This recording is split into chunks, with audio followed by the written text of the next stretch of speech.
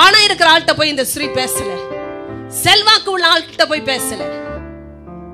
என் புருஷன் இறந்து போனார் கடன் பட்டு இருக்கிறார். என் குடும்பம் கடன்ல இருக்கு. என் குமாரரை கொண்டு போக போகிறார்கள். ஐயா உதவி செய்யுங்க என்று சொல்லி பணக்காரன் காலிடத்தில் போய் விடல. எந்த தீர்க்க தரிசன அபிஷேகத்தை கொடுத்து எந்த மனிதனுக்கு கீழ் அதிகாரத்திலே உட்பட்டு இருக்க ஒப்பு கொடுக்க தேவன் படித்து கொடுத்தாரோ அதே தேவனுடைய மனுஷனிடத்திற்கு திரும்பி போனாள். ரெண்டு ராஜாக்களின் புத்தகம் நான்காவது அதிகாரம். ஒன்றிலிருந்து ஏழாவது வசனங்கள் வரை நான் வாசிக்கிறேன். தீர்க்கதரிசிகளுடைய புத்திரரில் ஒருவனுக்கு மனைவியாய் இருந்த ஒரு ஸ்திரீ எலிசாவை பார்த்து உமது அடியானாகி என் புருஷன் இறந்து போனான். உமது அடியான் கத்தருக்கு பயந்து நடந்தான் என்பதை அறிவீர். கடன் கொடுத்தவன் இப்போது என் இரண்டு குமாரரையும் தனக்கு அடிமைகளாக்கிக் கொள்ள வந்தான் என்றாள். எலிசாவளை நோக்கி நான் உனக்கு என்ன செய்ய வேண்டும்? வீட்டில் உன்னிடத்தில் என்ன இருக்கிறது சொல் என்றான். அதற்கு அவள் ஒரு குடம் எண்ணெய் அல்லாமல் உமது அடியாளுடைய வீட்டில் வேறொன்றும் இல்லை என்றாள். அப்பொழுது அவன் நீ போய் உன்னுடைய அயல் வீட்டுக்கார் எல்லாரிடத்திலும் அநேகம் வெறும் பாத்திரங்களை கேட்டு வாங்கி உள்ளே போய் உன் பிள்ளைகளுடன் உள்ளே நின்று கதவை பூட்டி அந்த பாத்திரங்கள் எல்லாவற்றிலும் வார்த்து நிறைந்ததை ஒரு பக்கத்தில் வை என்றான். அவள் அவனிடத்திலிருந்து போய் தன் பிள்ளைகளுடன் கதவை பூட்டிக் கொண்டு இவர்கள் பாத்திரங்களை அவளிடத்தில் கொடுக்க அவள் அவைகளில் வார்த்தாள். அந்த பாத்திரங்கள் நிறைந்த பின் அவள் தன் மகன் ஒருவனை நோக்கி இன்னும் ஒரு பாத்திரம் கொண்டு வா என்றாள். அதற்கு அவன் வேறே பாத்திரம் இல்லை என்றான். அப்பொழுது எண்ணெய் நின்று போயிற்று. அவள் போய் தேவனுடைய மனுஷனுக்கு அதை அறிவித்தாள். அப்பொழுது அவன் நீ போய் அந்த எண்ணெயை விற்று உன் கடனை தீர்த்து மீந்ததை கொண்டு நீயும் உன் பிள்ளைகளும் ஜீவனம் பண்ணுங்கள் என்றான். தீர்க்கதரிசிகளுடைய புத்திரரில் ஒருவனாயிருந்த ஒரு ஒருவருக்கு மனைவியாயிருந்த ஸ்ரீ தன் கணவர் இறந்து போன தருணத்திலே கடந்து போய் இந்த தீர்க்கதரிசினிடத்தில் பேசுகிறாள். நன்றாய் கவனிங்கள் என்று வருகிற தீர்க்க தரிசன வார்த்தைகள் கர்த்தருடைய சமூகத்திலிருந்து வரும் என்பதை நான் விசுவாசித்து கடந்து வந்திருக்கிறேன். தீர்க்கதரிசிகளின் புத்திரராய் இருந்த ஒரு மனுஷன் ஆண்டவருடைய ஊழியத்தை செய்தவர் தேவனுக்கு பயந்து நடந்தார் என்பதை எலிசா அறிவார் என்று அந்த ஸ்திரீ பேசினாள். கவனிங்கள் ஆண்டவருடைய ஊழியத்தை செய்கிற ஜனங்களுக்கு வருகிற சூழ்நிலைகளை கர்த்தர் அந்தரங்கத்திலிருந்து வெளியரங்கம் வரை அறிகிற தேவன் மாத்திரமல்ல. அவருக்காக ஜீவிக்கிறவர்களுக்கு வழியை திறக்கிறவர் மாத்திரமல்ல. அவருடைய வாழ்க்கையை மற்ற எல்லாரவரை விட உயர் ஸ்தலத்தில் வைத்து காட்டுகிற தேவனாகவும் இருக்கிறார். அலைலூயா ஏதோ ஒரு உதவியை அனுப்புகிறவர் மாத்திரமல்ல. உதவியின் வழியாக இவருடைய வாழ்க்கையை உயர்த்தி காட்டுகிறவர். ஏனென்றால் தேவனுடைய தீர்க்கதரிசிகள் என்று அழைக்கப்பட்டவருடைய அழைப்பை அறிந்து கொண்டவர்கள் ஆண்டவரை அறிந்து கொண்டவர்கள் மாத்திரமே. ஆண்டவரை அறியாத பட்சத்தில் ஆண்டவரால் அழைக்கப்பட்டவர்களை அறிந்து கொள்ள முடியாது. ஆண்டவரால் அழைக்கப்பட்ட இந்த மனுஷன் தேவனுக்கு பயந்து நடந்தான் என்பதை நீர் அறிவீர். நன்றாய் கவனிங்கள் ஆண்டவருக்கு பயந்திருக்கிற வாழ்க்கை அந்தரங்கத்தில் இருந்து தொடங்குகிற ஒரு வாழ்க்கையா இருந்தாலும் அது வெளியரங்கமாக தெரிகிற ஒரு வாழ்க்கை. ஒருவரும் செய்ய முடியாது சொல்ல முடியாது. நான் ஆண்டவருக்கு பயந்து உண்மையாய்த்தான் ஜீவிக்கிறேன். ஆனால் மற்றவர்கள் பார்க்கும் பொழுது அந்த வாழ்க்கைக்கு ஒரு அடையாளம் உண்டு. எலிசா ஒரு தீர்க்கதரிசி. அவனோடு இருந்த தீர்க்கதரிசிகளின் புத்திரரில் ஒருவர் இவர். தலைமுறை தலைமுறையாக தீர்க்க தரிசன அபிஷேகத்திலும் அதிகாரமுள்ள அவருடைய கிருபையுள்ள ஊழியத்தையும் செய்த அந்த தீர்க்கதரிசிகளுக்கு ஒருவரில் பிறந்தவர். கவனியுங்கள் ஒரு வாழ்க்கை என்பது வெளியரங்கமானது. அது அந்தரங்கத்துக்கு உரியது என்றால் அதற்குரிய காரியங்கள் வெளியரங்கமாகும். தேவனுக்கு பயந்து நடக்கிறேன் என்றால் அது வெளியரங்கமாய் தெரியும். எலிசாவுக்கு தெரியும் என்று அவள் பேசினாள். சில நேரம் நாம் நினைக்கிறோம் நான் வாழ்கிற வாழ்க்கை எனக்குத்தான் தெரியும். இல்லை உலகத்துக்கு தெரியும். உங்களோடு இருக்கிற தீர்க்கதரிசிகளுக்கு தெரிய வரும். உங்களை ஆண்டவருக்குள் நடத்துகிறவர்களுக்கு தெரிய வரும். ஏனென்றால் அதுதான் தேவனுக்கு பயந்த வாழ்க்கையின் அடையாளமாக கனியாக மாறுகிறது. எலிசாவின் இடத்தில் போய் பேசும் பொழுது என் கணவர் ஆண்டவருக்கு பயந்தவர் என்றெல்லாம் அவள் பேசவில்லை. என் கணவர் என்று சொல்வதற்கு பதிலாக உமது அடியான். ஹalleluya. பாருங்கள் இந்த அதிகாரமும் இந்த வாழ்க்கையின் அந்தரங்கத்தின் காரியங்களும் விசேஷமானது. ஏதோ என் கணவருக்கு ஒரு பிரச்சனை வந்தது என் குடும்பத்திலே ஒரு பிரச்சனை வந்தது என்றெல்லாம் இந்த பெண்மணி பேசவில்லை. உமது அடியான் தேவனுக்கு பயந்து நடந்தான் என்பதை நீர் அறிவீர். உமது அடியான் கவனியுங்கள் ஆண்டவருடைய தீர்க்கதரிசியாய் அழைக்கப்பட்ட அபிஷேகம் பெற்ற எலிசாவுக்கு கீழே பணி செய்கிற நிலைமையில் வைக்கப்பட்ட மனுஷன் இவர். உங்கள் வாழ்க்கையிலே தீர்க்க தரிசன அபிஷேகம் செயல்பட வேண்டும் என்றால் நீங்கள் தீர்க்கதரிசிகளுக்கு அடங்கி இருக்க வேண்டும். ஹalleluya ஆண்டவர் என்னை பயன்படுத்த வேண்டும் தேவனினை அபிஷேகிக்க வேண்டும் தேவனினை வல்லமையாக பயன்படுத்த வேண்டும் என்று நினைக்கிற பாத்திரங்களாய் சிலர் இந்த கூட்டத்தில் இருப்பீர்கள் என்றால் கவனியுங்கள். தீர்க்கதரிசிகளுக்கு அடங்கி இருந்து அடியான் என்று சொல்லப்பட்ட நிலைமையில் வாழ்ந்தவர் அந்த மனுஷன். என் புருஷன் இறந்து போனான் என்பதை சொல்வதற்கு முன்பாக உமது அடியானாகிய என் புருஷன் என்று அந்த ஸ்திரீ பேசினாள். அப்படி என்றால் தீர்க்கதரிசன அபிஷேகம் அந்த மனுஷனுடைய வாழ்க்கையில் இருந்து ஒரு தீர்க்கதரிசிக்கே புத்திரனாக பிறந்து வளர்ந்திருந்து ஒரு ஸ்திரீக்கு வாழ்க்கைப்பட்டிருந்தாலும் அந்த மனுஷன் இன்னொரு தீர்க்கதரிசியின் கீழ் அடங்கி இருந்த ஒரு மனுஷனாக இருந்தான். அன்றை கவனிங்கள் நீங்கள் தீர்க்க தரிசன அபிஷேகம் பெற்றவர்களிடத்திலே ஊழியர்களிடத்திலே கத்தர் உங்களுக்கு மேல் வைத்த அதிகாரத்திற்கு கீழாக உடைய வாழ்க்கையை அடங்கி இருப்பது என்றால் என்ன அர்த்தம்? ஆண்டுடைய கரத்துக்கு கீழாக இருக்கிற அந்த அதிகாரத்திற்கு நீங்கள் ஒப்பு கொடுக்கும் பொழுது மாத்திரமே ஆவியின் பரிமாற்றம் நடத்தப்படுகிறது. ஹலலூயா இது எப்படிப்பட்ட பரிமாற்றம்? ஒருவேளை யோசிக்கலாம் நான் ஆண்டவருக்குள் வல்லமையாய் வாழ விரும்புகிறேன் கனி கொடுக்க விரும்புகிறேன். தேவன் என்னையும் பயன்படுத்த வேண்டும் என்று மனதிலே உண்மையான வாஞ்சியோடு நீங்கள் இருக்கலாம். ஆனால் உங்களுக்கு இந்த வழிமுறைகளை வேதமே எடுத்து காட்டுகிறது. ஆண்டவருடைய அபிஷேகம் பண்ணப்பட்டவர்கள் யார் என்று முதலாவது இனம் கண்டுகொள்வது நல்லது.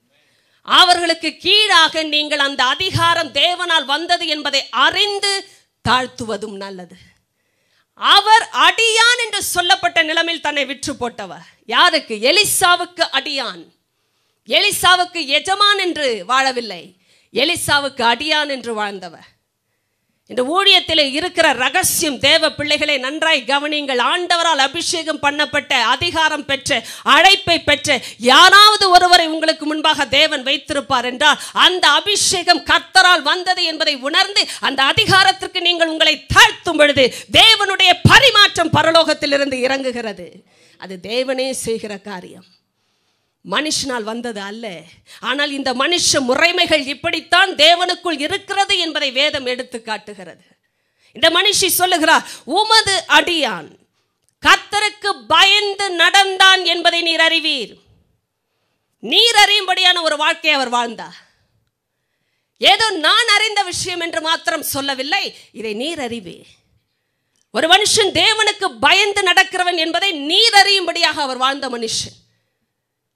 தேவ பிள்ளைகளை நன்றாய் கவனிங்கள். வாழ்க்கையை அப்படிப்பட்டதான அர்ப்பணிப்புக்குள் வைத்த ஒரு குடும்பத்திலே இருந்த ஒரு ஸ்திரீ இவள். ஏதோ ஒரு வாழ்க்கை அவர்கள் வாழவில்லை. தீர்க்கதரிசியின் கீழாக அந்த அதிகாரத்தை உணர்ந்து அந்த கூட்டத்தில் ஒருவராக இருந்த ஒரு மனுஷனுக்கு வாழ்க்கைப்பட்ட ஸ்திரீ இவள். இவளுடைய வாழ்க்கையே அசாதாரணம். ஏதோ ஒரு குடும்பத்தின் பெண்ணாக இவளை சித்தரிக்கவில்லை வேதம். வேதம் தெளிவாக இவளை பற்றி சொல்லுகிறது. இவள் அழைப்புக்கு உட்பட்டவள். இவள் அதிகாரத்திற்கு ஒப்பு கொடுத்தவள். இவள் தீர்க்கதரிசிக்கு மனைவியாகி இருக்க அவள் தன்னை ஒப்பு கொடுத்தவள். கவனிங்கள் இப்படிப்பட்ட வாழ்க்கையில் இருக்கிறவர்களுக்கு சோகமே இருக்காதா? எந்த வெறுமையும் வராதா? எந்த எந்த விதமான பிரச்சனையும் உண்டாகாதா என்று நீங்கள் நினைப்பீர்கள் என்றால் வேதம் பிரச்சனையில் தான் இங்கே ஆரம்பித்திருக்கிறது. வேதம் ஒரு பிரச்சனையை குறிப்பிட்டு தான் இந்த இடத்தில் பேசுகிறது. அவள் வந்து சொன்னதே ஒரு பிரச்சனை. என்ன பிரச்சனை? வாழ்க்கையிலே ஒரு பெண்ணுக்கு வரக்கூடாத பிரச்சனை. அதுவும் தீர்க்கதரிசியின் வீட்டிலேயா? எலிசா என்ற தீர்க்கதரிசிக்கு அடியனாக வாழ்ந்த ஒரு மனுஷனுக்கா? அதுவும் கர்த்தருக்கு பயந்து ஜீவித்த ஒரு மனுஷனுக்கா? தேவ பிள்ளையை இன்று ஆண்டவருடைய அடிமை என்று சொல்வதை விட ஆண்டவருடைய ஊழியக்காரியாய் ஊழியக்காரனாய் நீங்கள் தேவன் கொடுத்திருக்கிற அதிகாரத்திற்கு ஒப்பு கொடுத்து வாழ்கிற ஒரு மனுஷயா மனுஷனாய் இருப்பீர்கள் என்றால் கவனியுங்கள். கர்த்தர் உங்களுடைய வாழ்க்கையிலே சில சூழ்நிலைகள் அனுமதிக்கப்படும் பொழுது நீங்கள் அங்கலாய்ப்போடு ஏன் இது எனக்கு நடக்க வேண்டும் என்று கதறுதோடு வந்திருப்பீர்கள் என்றால் கர்த்தருடைய வார்த்தை உங்களுக்கு நேராகத்தான் வருகிறது. ஆண்டவரே நான் உமக்கு ஒப்பு கொடுத்து நீர் கொடுத்த அதிகாரத்திற்கு ஒப்பு கொடுத்து என்னை தாழ்த்தி ஊழியம் செய்வதற்காக நான் வாஞ்சிக்கிற இந்த வாழ்க்கையிலே ஏனப்பா இந்த சோதனை வர வேண்டும் கவனிங்கள் இந்த மகளுக்கு வந்த சோதனை ஒரு ஸ்திரீக்கு வரக்கூடாத சோதனை ஏனென்றால் கணவர் மறித்து போனார். இவள் விதவையாக்கப்பட்டிருந்தாள். அது மாத்திரமல்ல கடன் கொடுத்தவன் இப்போது என் இரண்டு குமாரரையும் தனக்கு அடிமைகளாக்கி கொள்ள வந்தான் என்றாள். அவளுக்கு இருந்ததே ரெண்டு மகன்கள் தான் திருமணம் அவர்களுக்கு ஆயிற்றா இல்லையா என்று வேதம் சொல்லவில்லை ஆனால் ஒன்று தெரியும் இந்த குடும்பம் கடன்பட்டு இருந்தார்கள் நன்றாய் கவனிங்கள் கடன்பட்ட ஒரு வாழ்க்கை அடிமைத்தனத்திற்குள் கொண்டு போகிறது. நீதிமான்களை கவனியுங்கள் எத்தனையோ நீதி தேவனுக்குரிய பயம் இருந்தும் இந்த குடும்பத்துக்கு ஏன் கடன் வாங்க வேண்டிய சூழ்நிலை வந்தது என்று எனக்கு தெரியவில்லை வேதம் அதை சொல்லவில்லை ஆனால் இந்த குடும்பம் கடன்பட்டு இருந்தது கணவர் தன்னுடைய வாழ்க்கையிலே இந்த வாங்கின கடனை எப்படியாகிலும் முடித்து விடலாம் என்றுதான் வாங்கியிருப்பார். ஆனால் அவர் மறித்து போனார். கவனிங்க சில நேரம் நாம் செய்யலாம் என்று நினைக்கிற காரியங்கள் மறித்து போகும். தீர்க்கதரிசியின் அனுபவம் இதுதான். என்னால் முடியும் என்று நினைத்த காரியங்கள் முற்றுப்புள்ளியை காணும். உதவுவார்கள் என்று நினைத்தவர்கள் கைவிடுவார்கள். நம்பிக்கை இருக்கிறதை போன்று தெரிந்த எதிர்காலம் இல்லாமலேயே போனது போலாகும். தேவ பிள்ளையே உங்களுடைய வாழ்க்கையிலே கடன்பட்ட நிலைமையிலே நீங்கள் அப்பத்துக்கு இறந்து திரிகிற சூழ்நிலைக்குள் தள்ளப்பட்டிருந்தாலும் கவனியுங்கள். ஆண்டவருக்கு பயந்து ஜீவிக்கிற ஒரு மனுஷனுக்கு ஒரு மனுஷிக்கு கர்த்தரே பராமரிக்கிற பரிகாரியாய் மாறுகிறார். தேவனை அன்றி ஒரு தீக்கதரிசிக்கு நம்பிக்கை இல்லை. என்பதை அறிவதற்காகவே ஆண்டவர் செய்கிறார். கணவர் இருந்தார் இப்பொழுது இல்லை. படம் இருந்தது ஆனால் கடனாக வாங்கப்பட்டது. திருப்பி கொடுக்க நிர்வாகம் இல்லை. மகன்கள் மாத்திரமே இருந்தார்கள். அவர்களையும் கொண்டு போக கடன் கொடுத்தவன் வந்துவிட்டான் உங்கள் வாழ்க்கையில் நீதிமானாக நீதிமானா இருந்தும் கடன்பட்டு இருக்கிறீர்களா கர்த்தர் சொல்லுகிறார் உங்களுடைய வாழ்க்கையிலே அந்த கடனிலிருந்து வெளியே வருவதற்குரிய ரகசியம் கர்த்தரிடத்தில் தான் இருக்கிறது. மனுஷனிடத்தில் இல்லை. மனுஷனிடத்தில் இல்லை. கவனிங்கள் மனுஷர்கள் உங்களுக்கு ஒரு முடிவு அல்ல. தேவனே முடிவாயிருக்கிறார். நீங்கள் அறிய வேண்டிய காரியம் ஒரு நீதிமான் கடன்படும் பொழுது அது அடிமைத்தனம். அவர் தீர்க்கதரிசியாக கூட இருக்கலாம். கவனிங்கள் தீர்க்கதரிசியின் குடும்பம் கடன்பட்டிருந்தது.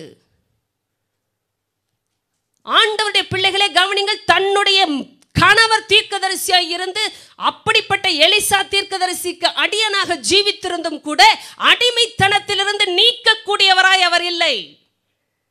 தன் புருஷனே இல்லை. இன்னொருவருக்கு அடியானாய் இருந்தது யாரோ ஒருவருக்கு அல்ல. தீர்க்கதரிசிக்கே அடியானாய் வாழ்ந்த ஒரு அர்ப்பணிக்கப்பட்ட வாழ்க்கைங்க. ஆனாலும் அடிமைத்தனத்தை அந்த மனுஷன் நீக்க முடியவில்லை. மாறாக அடிமைத்தனத்திற்குள் வைத்துவிட்டு மறைத்து போனார். மனுஷரிடத்திலே ஒரு பதிலை எதிர்பார்க்கிற வாழ்க்கை அடிமைத்தனத்திற்குள் தான் வைக்கிறது. ஏனென்றால் மனுஷரிடத்தில் விடுதலை இல்லை. கவனிங்கள் தேவ பிள்ளையே ஒரு மனுஷனுடைய முகத்தை பார்க்காதீங்க உதவிக்காக. விடுதலைக்காக ஒரு மனுஷனை பார்க்காதிருங்கள். ஏனென்றால் எல்லா மனுஷர்களும் குறைவுள்ளவர்கள். எல்லை வரைமுறைக்கு உட்பட்டவர்கள் யாருக்கும் உதவி செய்யக்கூடிய திராணி என்பது ஒரு வரைமுறைக்கு மேல் இல்லை. ஆனால் இந்த ஸ்திரீக்கு ஒன்று தெரியும். கவனிங்க எனக்கு ஆச்சரியம். இந்த ஸ்திரீ போய் பேசின இடம் வேறு இடத்துல இல்லை.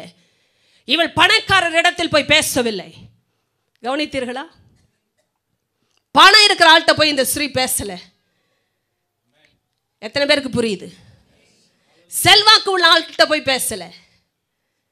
என் புருஷன் இறந்து போனார் கடன் பட்டு இருக்கிறார் என் குடும்பம் கடனில் இருக்கு. என் குமாரரை கொண்டு போக போகிறார்கள். ஐயா உதவி செய்யுங்க என்று சொல்லி பணக்காரன் காலிடத்தில் போய் விடல. வேலை கொடுப்பாங்கன்னு போய் இன்னொரு ஆள் காலில் விடல உதவி செய்யுங்கன்னு சொல்லி ஒரு ஆள் காலில் போய் விடலை. எந்த தீர்க்கதரிசன அபிஷேகத்தை கொடுத்து எந்த மனிதனுக்கு கீழ் அதிகாரத்தில் உட்பட்டு இருக்க ஒப்பு கொடுக்க தேவன் படித்து கொடுத்தாரோ அதே தேவனுடைய மனுஷனிடத்திற்கு திரும்பி போனாள். ஏனென்றால் அதுதான் ஆரம்பம் அதுதான் முடிவு ஒரு தீர்க்கதரிசிக்கு. ஆண்டுடைய பிள்ளையை அழைத்த அழைப்புல உயரத்தில் எங்க கர்த்தர் உங்களை வைத்தாரோ அதே இடத்துக்கு திரும்பி போங்க.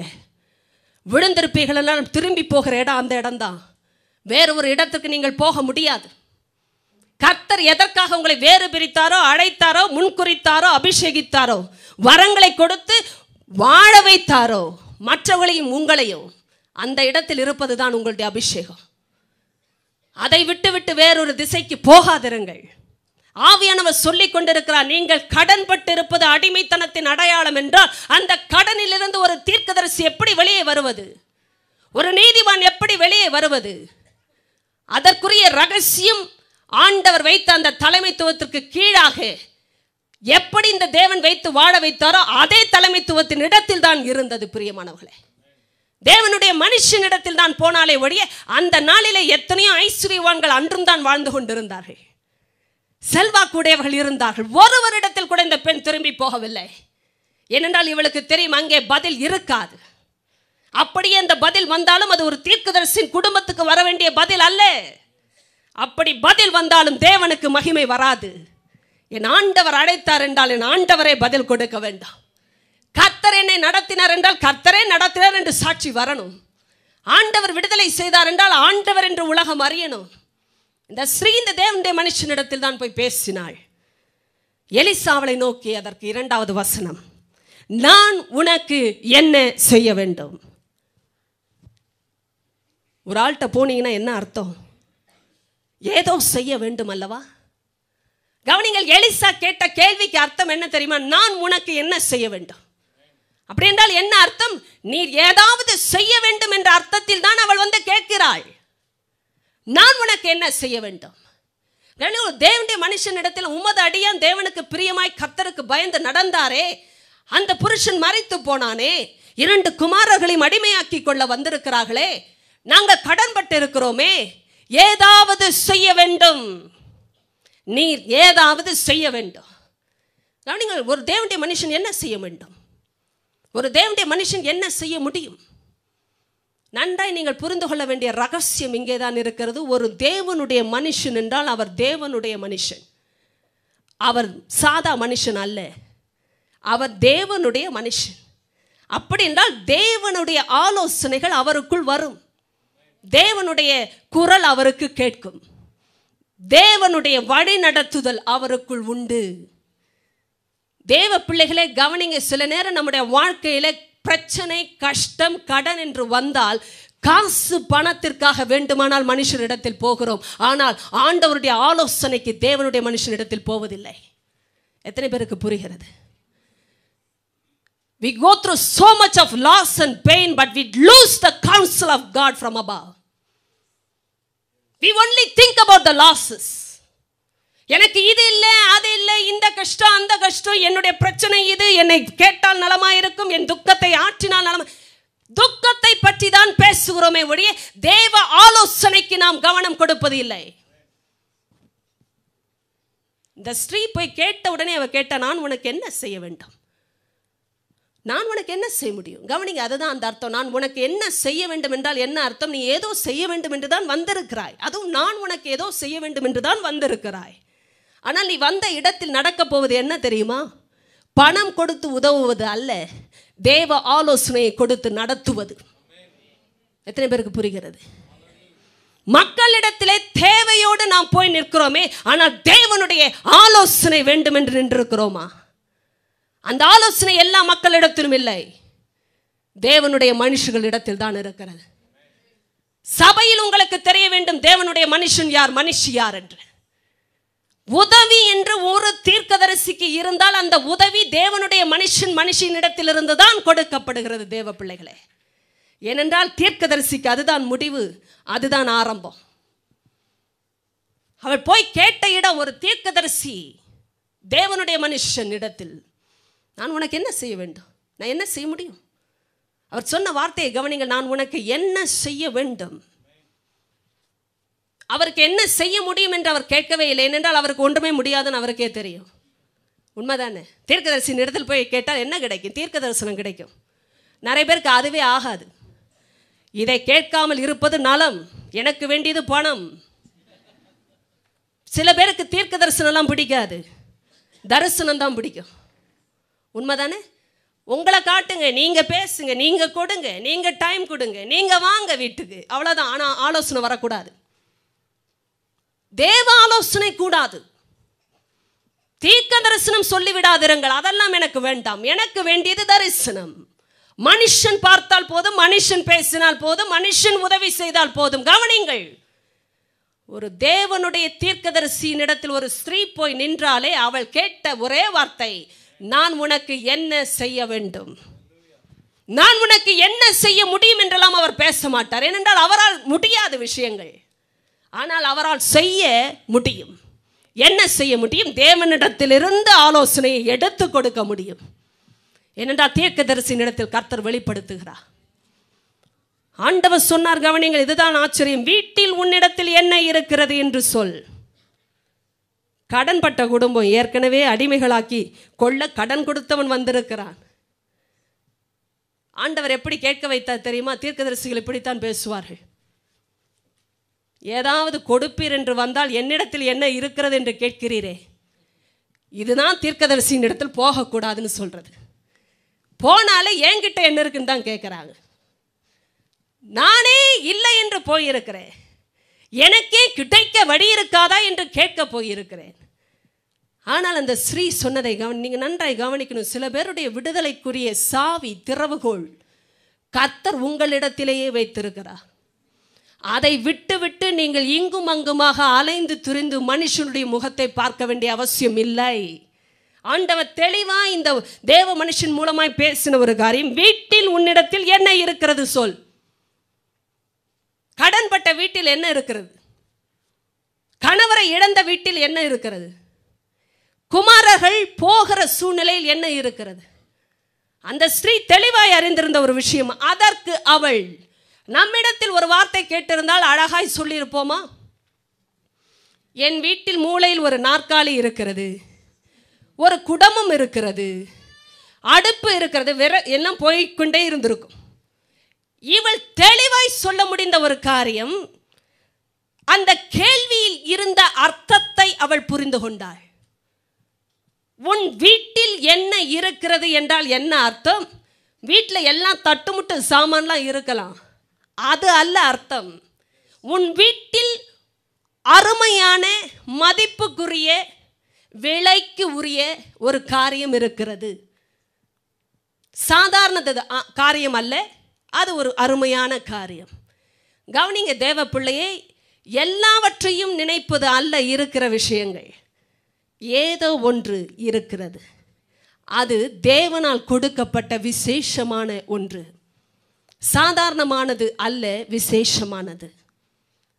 அந்த காலத்தில் ஆண்டவர் உபாகமம் இருபத்தி எட்டில் எல்லாம் பேசும் பொழுது உன் வீட்டிலே மாப்பிசைகிற உன் தொட்டியும் உன் எண்ணெய் கலசத்தில் உள்ள எண்ணெயும் ஆசிர்வதிக்கப்பட்டிருக்கும்.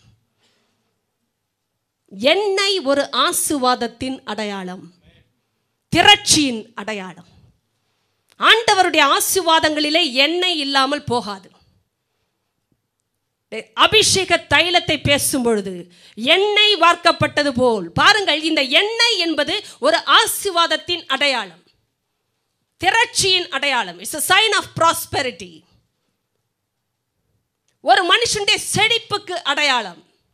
எண்ணெய் வளம். அதனால தான் இன்னைக்கு உலகத்திலேயே எங்கே எண்ணெய் வளம் இருக்கிறதோ அதுதான் பணக்கார தேசமாக இருக்கிறது.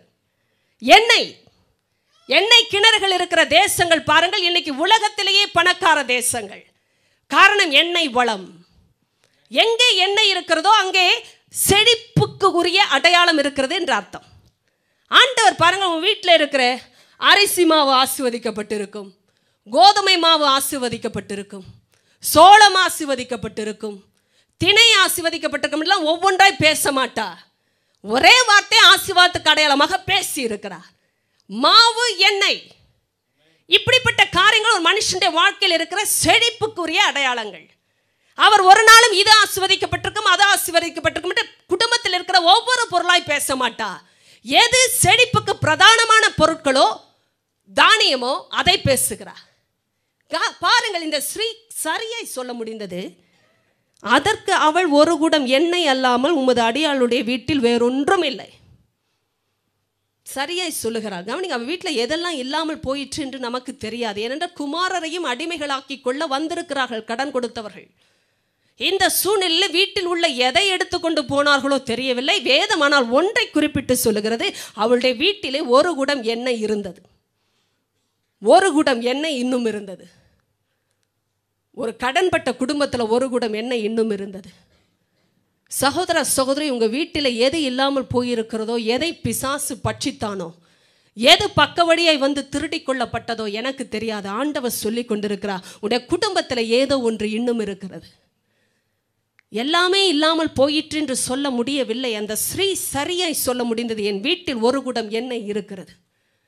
அதை இல்லாமல் வேறொன்றும் இல்லை. சில நேரம் கஷ்டப்படுகிறவங்க வாழ்க்கையில் பாருங்க இந்த இந்த- டைலாக் நன்றாய் கவனிங்க. என் வீட்டில் ஒரு குடம் எண்ணெய் இருக்கிறது. இப்படியா சொன்னா? வாசிங்கள் என் வீட்டில் ஒரு குடம் எண்ணெய் அல்லாமல் உமது அடியாளுடைய வீட்டில் இல்லை.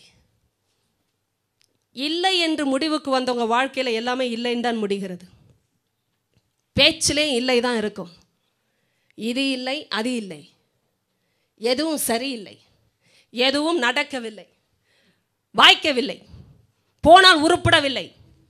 கொடுக்கவில்லை. திரும்பி பார்க்கவில்லை. தரவில்லை. எல்லா வாக்கியத்திலும் ஒரு இல்லையை வைப்பாங்க. அந்த இல்லைக்கு ஒரு எல்லையே இல்லை. இது இல்லாதவங்களுடைய பாட்டு. எப்போ பேசினாலும் இல்லை தான் இருக்குன்னு வராது. இந்த அம்மாவுக்கு இருக்கிற விஷயமே இல்லைன்னு முடிக்க கற்றுக்கொண்டு இருந்தாள் ஏன்னா பார்க்கிறதெல்லாம் இல்லை என்று ஆகிவிட்டது. எத்தனை முறை ஒரு விசுவாசியோட வாழ்க்கையில் இதுதான் நடக்குது. ஆனால் விசுவாசி. தீர்க்கதரிசியின் குடும்பத்தில் நடந்த விஷயம் கர்த்தர் எழுதியிருக்கிறார்.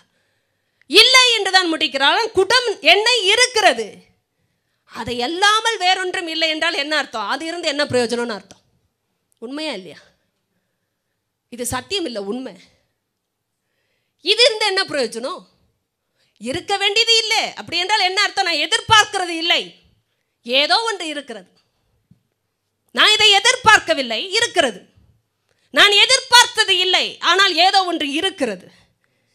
இந்த ஸ்ரீ சொல்லுகிறார் இதை அல்லாமல் வேறொன்றும் இல்லை என்றால் என்ன அர்த்தம்? இது இருந்து என்ன பிரயோஜனம்? ஒரு கூட என்ன என்ன செய்யும்? நிறைய பேர் வாழ்க்கையில் அப்படித்தான் பிசாசு வஞ்சனையை வைத்து விட்டான். இல்லை இல்லை இல்லை என்ற பேச்சிலே இருக்கிறவர்களுடைய வாழ்க்கையில் இருப்பது விசேஷமாக இல்லை. இருப்பதை விசேஷமாக கருதுவது இல்லை. கர்த்தர் கொடுத்த அழைப்பா இருக்கலாம் அபிஷேகம். தேவன் முன்குறித்த திட்டங்கள் கொடுத்த வாய்ப்புகள் அதிகாரம் திறமை என்ன உங்க வாழ்க்கையில இருக்குன்னு கொஞ்சம் யோசிங்க. சகோதர சகோதரி எத்தனையோ முறை இது இல்லை அது இல்லை இது இல்லை அது இல்லை என்றே இல்லை பட்டியலில் வாழ்கிற நம்முடைய வாழ்க்கையிலே கர்த்தர் எதை இருக்கிறது என்று பார்க்க சொல்லுகிறார். உங்கள் வாழ்க்கையில் எது இருக்கு இன்னும் தெரியுமா? ஒரு விஷயம். அந்த ஸ்ரீக்கு பல விஷயங்கள் தெரிய வேண்டாம். ஒரு விஷயம் தெரிந்தால் போதும். சரியாக தெரிந்தால் போதும். பல விஷயம் தெரிய வேண்டாம். என் வீட்டில் ஒரு கூட என்ன இருக்குன்னு எனக்கு தெரியும். ஆனால் அதை தவிர வேறொன்றும் இல்லை என்றால் என்ன அர்த்தம்? அது இருந்த பிரயோஜனம் என்ன? ஒரு கூட எண்ணெயில் என்ன நடக்க போகிறது? ஆண்டவர் எதிர்பார்த்த வெளிப்பாடு அந்த மனுஷனுடைய வாழ்க்கையில இருக்கிறதை விசேஷமாக ஒரு பிள்ளை கருத ஆரம்பிப்பார்கள் என்றால் அந்த இருக்கிற அந்த சிறிய காரியத்தை சிறிய தொடக்கத்தை அற்பமான அந்த ஆரம்பத்தை கர்த்தர் மகிமையான முடிவாக மாற்ற வல்லவராய் இருக்கிறார். உங்க வாழ்க்கையில எது அற்பம் என்று நினைக்கிறோமோ அந்த காரியம் தான் முடிவில் மகிமை பெறும். ஆனா இருக்கிறது தெரியுமா? அற்பமான ஆரம்பம் அற்பமாய் தெரியும். சாதாரணமாக பேசுகிற அந்நிய பாஷை ரெண்டு வார்த்தையை தவிர வரவில்லை. என்ன இதில் பெருசா அபிஷேகம்? அவர்களைப் போல் இல்லை இவர்களைப் போல் இல்லை. தேவன் கொடுத்தது. தேவன் கொடுத்தது. கவனியுங்கள். கர்த்தர் கொடுத்த காரியங்கள் சில பேர் வாழ்க்கையில் அற்பமாக இருக்கிறது. எனக்கு இன்னும் பெரிதா இல்லை எனக்கு இன்னும் அவர்களைப் போல வரவில்லை எனக்கு இன்னும் அப்படிப்பட்ட வாய்ப்புகள் இல்லை. உண்மை அது இல்லை. கர்த்தர் சொல்லுகிறா உன்னிடத்தில் என்ன இருக்கிறது? சொல். இருக்கிற விஷயத்தை யார் சொல்லுவா? இருக்கிறவங்கள ஆண்டவர் இந்த காலை வேளையில் பார்த்து தெளிவாய் கேட்கிறார். இருக்கிறவர்கள் தான் சொல்ல முடியும் இருக்கிறது என்று. இந்த ஸ்திரீக்கு அதை அல்லாமல் வேறொன்றும் இல்லை என்று ஏன் சொன்னால் அது அவளுக்கு பெரிதாக தெரியவில்லை. இருக்கிறது என்று தெரிகிறது ஆனால் பெரிதாக தெரியவில்லை. சிலருக்கு இருக்கிறது என்ன என்றே தெரியவில்லை. ரெண்டு கேட்டகரி இருக்காங்க இன்னைக்கு. சில பேருக்கு தங்களுடைய வாழ்க்கையில் என்ன இருக்கிறது என்றே தெரியல. சிலருக்கு இருக்கிறது என்று தெரிந்தாலும் அது விசேஷமாக தெரியல. கர்த்தர் சொல்லி கொண்டிருக்கிற உங்க வாழ்க்கையில ஆண்டவர் கொடுத்தது அந்த ஒரு விஷயம்தான். தேவனுக்கு தெரியும் உங்களுக்கு தெரியும். ஆனால் அதை விசேஷமாக நினைத்தீர்களா? ஆண்டவர் கொடுத்ததாயிற்றே என்று சொல்லி அதை விசேஷமாக கருதினீர்களா? அது கர்த்தர் கொடுத்த ஒரு சிறிய தாளந்து. ஒரு ஆளுக்கு ஒரு தாளந்து தான் கொடுத்தாருங்க. ஆனால் திரும்ப எஜமான் வந்தபொழுது அந்த தாளந்து என்ன ஆயிற்று என்று கேட்டார். சிலருக்கு ஐந்து கொடுத்திருந்தார் பரவாயில்லை. ஆனால் ஒருவருக்கு ஒவ்வொருவருக்கும் அவனுடைய திராணிக்கு தக்கதாக கொடுத்தவர் ஆண்டவர். இன்னைக்கு கர்த்தர் அவருடைய குடும்பத்துக்கு தக்கதாக கொடுத்திருக்கிறார். அவருடைய வாழ்க்கைக்கு தக்கதாக கொடுத்திருக்கிறார். ஆனால் கொடுத்த காரியத்தை குறித்த விசேஷம் நமக்கு உண்டா? இன்னைக்கு உட்கார்ந்திருக்கிற ஒருவருடைய வாழ்க்கையில் ஆண்டவர் சொல்லுகிற காரியம் உங்களை நம்பி உங்களை சிறப்பாக கருதி தேவன் ஒன்றை கொடுத்திருக்கிறார். அது ஐந்தாக இல்லாமல் போகலாம் ஆனால் ஒன்று இருக்கிறது. அந்த ஒன்று என்ன என்று தெரியுமா? இல்லையென்றால் தெரிந்திருந்தும் அதனால் என்ன பிரயோஜனம் என்று யோசித்துக் கொண்டிருக்கிறீர்களா? இன்று கர்த்த சொல்லுகிற நம்முடைய ஆசீர்வாதம் அடைபட்டதற்கு காரணம். நாம் அடிமைத்தனத்தில் இருப்பதற்கு காரணம். நன்றாய் கவனிங்க இதெல்லாம் தீர்க்க தரிசனம். ஒருவேளை நீங்கள் கடன்பட்ட அடிமைத்தனத்தில் இருக்க இருக்கிற ஒரு ஆளா இல்லாமல் போகலாம். ஆனால் ஆவிக்குரிய அடிமைத்தனம். ஒருவேளை இன்னொருக்கு கடன்பட்டு நீங்க குடும்பத்தில் ரெண்டு மகன்களை கொண்டு போகிற நிலைமையில் இந்த செய்தியை கேட்க மாட்டீர்கள். ஆனால் இது தீர்க்க தரிசனம் ஆவிக்குரிய அடிமைத்தனத்தில் இருப்போம். எவ்வளவு வாய்ப்புகள் வந்தாலும் எழும்ப மாட்டோம். எவ்வளவு தருணங்கள் கர்த்த நமக்கு முன்பாக வைத்தாலும் நமக்கு விசேஷமாக தெரியாது. ஏனென்றால் நாம் மற்ற காரியங்களைத்தான் இருக்க வேண்டும் இருக்க வேண்டும் என்று பேசுகிறோமே தவிர இருக்கிற காரியம் விசேஷமாக நமக்கு தெரியவில்லை. எத்தனை முறை இது நடக்குது? இது வேண்டும் அது வேண்டும் இப்படி இருந்தால் நன்றாயிருக்கும் இப்படி தேவன் பயன்படுத்தினால் நன்றாயிருக்கும் என்று சொல்லிக்கொண்டே இருக்கிறோம். ஆனால் தேவன் பயன்படுத்த ஏற்கனவே வைத்திருக்கிற அந்த அருமையான தாளந்தை புதைத்து கொண்டிருக்கிறோம். ஏற்கனவே கொடுத்திருக்கிற அந்த கிருபையை நாம் மதிக்காமல் இருக்கிறோம். ஆண்டவர் இன்று நம்மோடு தான் பேசி கொண்டிருக்கிறார். உன்னிடத்தில் என்ன இருக்கிறது சொல். உமது அடியாளவுடைய என்னுடைய வீட்டிலே ஒரு குடம் எண்ணெய் இல்லாமல் வேறொன்றும் இல்லை அவர் சொன்னார் இது இருந்த என்ன பிரயோஜனம் ஐயா? அவர் சொல்லிக்கொண்டே போகிறார் அப்பொழுது அவன் முதலாவது இருக்கிற விஷயம் என்னன்னு தெரியணும். இரண்டாவது அந்த விஷயம் விசேஷமானது என்று தெரிய வேண்டும். இப்பொழுது தேவன் சொன்ன இன்னொரு ஆலோசனை நீ போய் உன்னுடைய அயல் வீட்டுக்காரர் எல்லாரிடத்திலும் அநேக வெறும் பாத்திரங்களை கேட்டு வாங்கி. கவனிங்க கடன்பட்ட ஒருத்தருடைய வாழ்க்கையில் கடனை கொடுத்து அனுப்புறது அல்லவா சுலபம்? விடுதலை கிடைத்து விடும் அல்லவா? ஆனால் ஒன்றே உங்களுக்கு எனக்கும் தெரியும் அப்படி நடக்க முடியாது. அப்படி நடக்கும் என்றால் பணம் எனக்கு உதவி செய்தது என்று ஒரு மனுஷன் சொல்லிவிடுவான். நான் அவரிடத்தில் போனேன் அவர் எனக்கு உதவினார் என்று சொல்லிவிடுவார் தேவன் எனக்கு செய்தார் என்ற மகிமை அவருக்கு போகாதே. கத்தர் அதனால்தான் ஒரு தீர்க்கதரிசியின் வாசகளை இப்படியாக எல்லா பக்கமும் அடைத்து வானத்தையே நோக்கி பார்க்கிற ஆலோசனைகளை கொடுக்கிறார். இந்த வானத்திலிருந்து வருகிற ஆலோசனை வானத்தின் பலகணிகளை தான் திறக்கும். பூமிக்குரியதை திறக்காது. அல்லேலூயா எத்தனை பேருக்கு பூமியிலிருந்து வாங்கி கொண்டு பூமியிலேயே மறித்து விட்டால் நலமா இருக்கும் என்று இருக்கிறது? நீங்கள் வானத்தை பார்க்க வேண்டாம். ஆனால் வானத்திலிருந்து வருகிற காரியங்கள் வானத்துக்கு உரியவருக்குரியது. இப்படிப்பட்டவர் செய்யும் பொழுது அதற்கு ஒரு எல்லையே கிடையாது.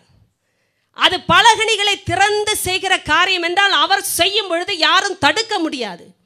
அவர் செய்யும் பொழுது அது திரளான ஆசிர்வாதம் மாத்திரமல்ல அது தடை செய்யப்பட முடியாத ஆசீர்வாதம்.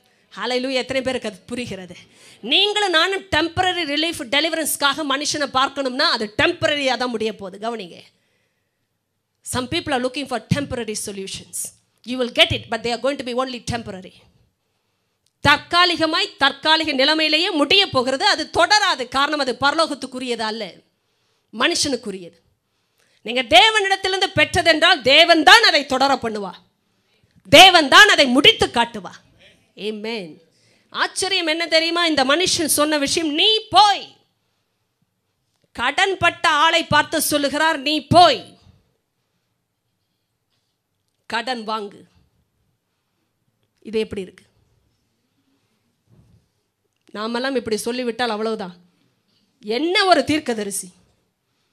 வானத்தை பீத்து கொண்டு கொட்டு கொட்டென்று கொட்டும் என்றல்லவா பேசியிருக்க வேண்டும். கடன் பட்ட நீ போய் கடன் வாங்கு. கேட்க நன்றாயில்லை. ஒரு குடம் என்னையா வீட்டில் இருக்கிறது அதை தவிர வேறு ஒன்றும் இல்லை என்றால் என்ன அர்த்தம்? இது இருந்து என்ன பிரயோஜனம் என்று அர்த்தம்? இப்படிப்பட்ட ஆளினிடத்தில் ஆண்டவரே சொல்லுகிற அடுத்த ஆலோசனை நீ போய் உன்னுடைய அயல் வீட்டுக்காரர் எல்லாரிடத்திலும் கடன் பட்டிருக்கிறேனே கடன் கொடுத்தவன் வந்து குமாரர்களை அடிமைக்கு அடிமைகளாக்கி கொண்டு போக போகிறானே என்று சொல்லி வீட்டுக்குள் அடங்கியிராமல் தெருவில் இருக்கிற எல்லாரிடத்திலும் போய் பாத்திரங்களை கேட்டு வாங்கு. கொஞ்சம் கற்பனை செய்து பாருங்கள். எவ்வளவு ஒரு ஹியூமிலியேஷன் சொல்லுவாங்க இல்லையா? அவமானம். ஓ எப்படி நான் போய் கேட்டு வாங்குவது? ஏற்கனவே வீட்டில் ஒன்றுமில்லை ஒரு குடம் எண்ணெய் தான் இருக்கிறது. இதிலும் ஒரு பிரயோஜனம் இல்லை என்று நான் நினைத்திருக்கிறேன். கர்த்தர் என்னை எப்படி விடுதலை செய்வார் என்று எனக்கு தெரியவில்லை. நான் உனக்கு என்ன செய்ய வேண்டும் என்று சொன்னவ ஆண்டவர் என்ன செய்ய எதிர்பார்க்கிறார் என்றே பேசிக் கொண்டிருக்கிறார். ஆண்டவர் என்ன செய்ய சொல்லுகிறார்? கவனிங்க சில நேரம் மனுஷன் கிட்ட போய் நீங்க ஏதாவது செய்ய முடியுமான்னு கேட்கிறீர்களே. கத்தர் எதை சொல்லுகிறார் தெரியுமா? நாம் என்ன செய்ய வேண்டும் என்று சொல்லி தருகிறார். இத்தனை பேருக்கு புரிகிறது சத்தியம். நீங்கள் ஏதாவது செய்ய முடியுமா? நீங்கள் ஏதாவது செய்ய முடியுமா? கவனிங்க is a prophecy that's been released from heaven நீங்கள் ஒருவேளை கடன் கடனுடைய ஒரு சீன் என்று நினைக்காதிருங்கள். இது இதை தாண்டி ஆவிக்குரிய நிலவையில் நடக்கிற விஷயம். ஏதாவது செய்யுங்க ஏதாவது செய்யுங்க மனுஷனிடத்தில் ஏன் செய்ய சொல்லுகிறீர்கள்? அழைத்தவர் கத்தர் என்றால் கத்தரே பேசும்படி விட்டு கொடுங்கள். அவர் சொல்லட்டும். நான் என்ன செய்ய வேண்டும் என்பதை அவர் சொல்லுவார். எனக்கு என்ன செய்ய வேண்டும் என்று நான் மனுஷரிடத்தில் போய் எதிர்பார்க்க கூடாது. நான் அவர்கள் எனக்கு என்ன செய்ய வேண்டும் என்று எதிர்பார்த்து உதவி கேட்கக்கூடாது மாறாக தேவனுடைய மனுஷனிடத்தில் போய் நிற்கிறேன் என்றால் என்ன அர்த்தம்? தேவனுடைய ஆலோசனை எனக்கு வேண்டும் என்ற அர்த்தம். அவர் பேசினால் அவர் எப்படி பேசுவார்? நான் உனக்கு இதை செய்கிறேன் அதை செய்கிறேன் என்று பேசுவதை விட்டுவிட்டு நீ என்ன செய்ய வேண்டும் என்று பேசுவா கர்த்தர் சொல்லுகிற நீ போய் நீ போய் என்ன செய்ய வேண்டும்? கவனிங்க. The miracle begins with you it's initiated from your own life நீ போய் வீட்டில் முடங்கி இருந்து கடன் பட்டு இருக்கிறேன் ஐயோ பிள்ளைகள் போக போகிறார்கள். எனக்கு ஒன்றும் இல்லை இது இல்லை அது இல்லை என்றெல்லாம் புலம்புவதை விட்டு விட்டு போ வெளியில என்றார் ஆண்டவர். எத்தனை பேருக்கு புரியுது? வீட்டில் என்ன இருக்குல்ல? வெளியில் போன்றார் எத்தனை பேருக்கு புரிந்தது? புரிந்ததோ இல்லையோ கர்த்தருக்கு தெரியும். ஆண்டவருக்கு ஸ்தோத்திரம் உண்டாவதாகன்னு சொல்லி ஹலையிலேயே சொல்லுங்க பார்ப்போம் புரிந்து விடும் வீட்டில் என்ன இருக்குல்ல வெளியில் போன்றார். ஆண்டவருடைய அபிஷேகம் உள்ள இருக்குல்ல? வெளியில் போங்க. இது இல்லை அது இல்லை. நீங்கள் என்ன செய்ய முடியும் என்றெல்லாம் மனுஷங்கிட்ட ஆலோசனை கேட்காதீங்க. மாறாக தேவனுடைய மனுஷனுடைய அதிகாரத்திற்கு உட்பட்டு தேவனுடைய ஆலோசனையை கேட்கிற இடத்தில் நீங்கள் உங்களை வைக்கும் பொழுது கர்த்தர் சொல்லுகிற காரியம் நீங்கள் புறப்பட்டு போங்க. ஏன்னா வீட்டில் இன்னும் ஒரு கூட என்ன இருக்குல்ல? நீங்கள் நினைக்கலாம் கொஞ்சம் அபிஷேகம் தான் இருக்குது கொஞ்சம் பலன் தான் இருக்குது சில பேருக்கு இந்த கொஞ்சமெல்லாம் ஒன்றுமே கிடையாது. ஊறுகாய் கொஞ்சமாக இருந்தாலும் அன்னைக்கு சாப்பிட்ட மாதிரி இருக்கும் உங்களுக்கு ஏன்னா அது ஊறுகாய் கொஞ்சமாவது இருந்ததே. அபிஷேகம்லாம் சில பேருக்கு கொஞ்சம்னா அது என்ன? அவங்கள மாதிரிலாம் ஆண்டர் அபிஷே அபிஷேகித்தால் பார்க்கலாம். அப்படிப்பட்டவளுக்கு இன்னைக்கு செய்தி வித்தியாசமாய் வந்து கொண்டு இருக்கிறது நீங்கள் பார்க்கலாம் என்று உட்கார்ந்துருக்கிற வரைக்கும் பார்ப்பீர்கள். எதை தெரியுமா? வெறுமையான பாத்திரங்களை தான். கர்த்தர் சொல்லுகிறா நீ போய். ஏன் நீ போகணும் தெரியுமா? உன் வீட்டில் இன்னும் ஒரு கூட எண்ணெய் இருக்குது என்ன இருக்கிறது என்ன இருக்கிறது. உங்க வாழ்க்கையில எது இருக்குன்னே தெரியலனா பரிதாபம் அதுதான். ஐயா அம்மா நம்ம வாழ்க்கையில எது இருக்கிறது என்று சொல்லுவோம் என்றால் பல காரியங்கள் சிந்தனையில் வரலாம். ஆனால் ஒரு தேவ பிள்ளைக்கு தீர்க்கதரிசிக்கு தெரியும் அது ஒன்று இருக்கிறது. தேவனுடைய அழைப்பு என் மேல் இருக்கிறது. தேவனுடைய அபிஷேகம் எனக்கு கொடுக்கப்பட்டிருக்கிறது. சிறுமையானவர்களுக்கு சுவிசேஷத்தை அறிவிக்க கர்த்தர் என்னை அபிஷேகம் பண்ணினார். அபிஷேகம் இருக்கிற ஆளுக்கு தெரியணும் எதற்கு அபிஷேகம் இருக்கிறது என்று. அது இருக்கிறது என்றாலும் தெரியும். சில சொல்லுகிறார்கள் எனக்கு கொஞ்சம் பலன் எனக்கு கொஞ்சம் ஜெபம் எனக்கு கொஞ்சம் வேதம் எனக்கு கொஞ்சம் அபிஷேகம். ஆண்டவர் சொல்லுகிறார் வெளியே புறப்படு. காரணம் அதுதான் நம்முடைய வாழ்க்கையில் பெருக்கத்தின் ரகசியம். எத்தனை விசுவாசிகள் பெற்றுக்கொண்டு பெற்றுக்கொண்டு பெற்றுக்கொண்டு எழும்பாமலேயே இருக்கிறார்கள். கர்த்தருக்காக வாட வேண்டும் என்ற வாஞ்சை இல்லை ஆனால் பெற வேண்டும் பெற வேண்டும். நன்றாய் கவனிங்க ஒரு கடன்பட்ட வாழ்க்கையிலிருந்து விடுதலை வேண்டும் என்றால் என்ன அர்த்தம்? அடிமைத்தனம் நீங்க வேண்டும் என்றால் என்ன அர்த்தம்? கர்த்தர் சொல்லுகிற அதை ஆரம்பிப்பது நம்முடைய வாழ்க்கையில் தான் இருக்கிறது. ஆரம்பிக்கணுங்க. நீங்க உங்க பிரச்சனையும் என் பிரச்சனையும் பேசிக்கொண்டே இருக்கிற வரைக்கும் வெளியில் இருக்கிறவருடைய பிரச்சனை பிரச்சனையாக தெரிவதில்லை. ஏனென்றால் நமக்காகவே ஜெபிக்கிறோம்.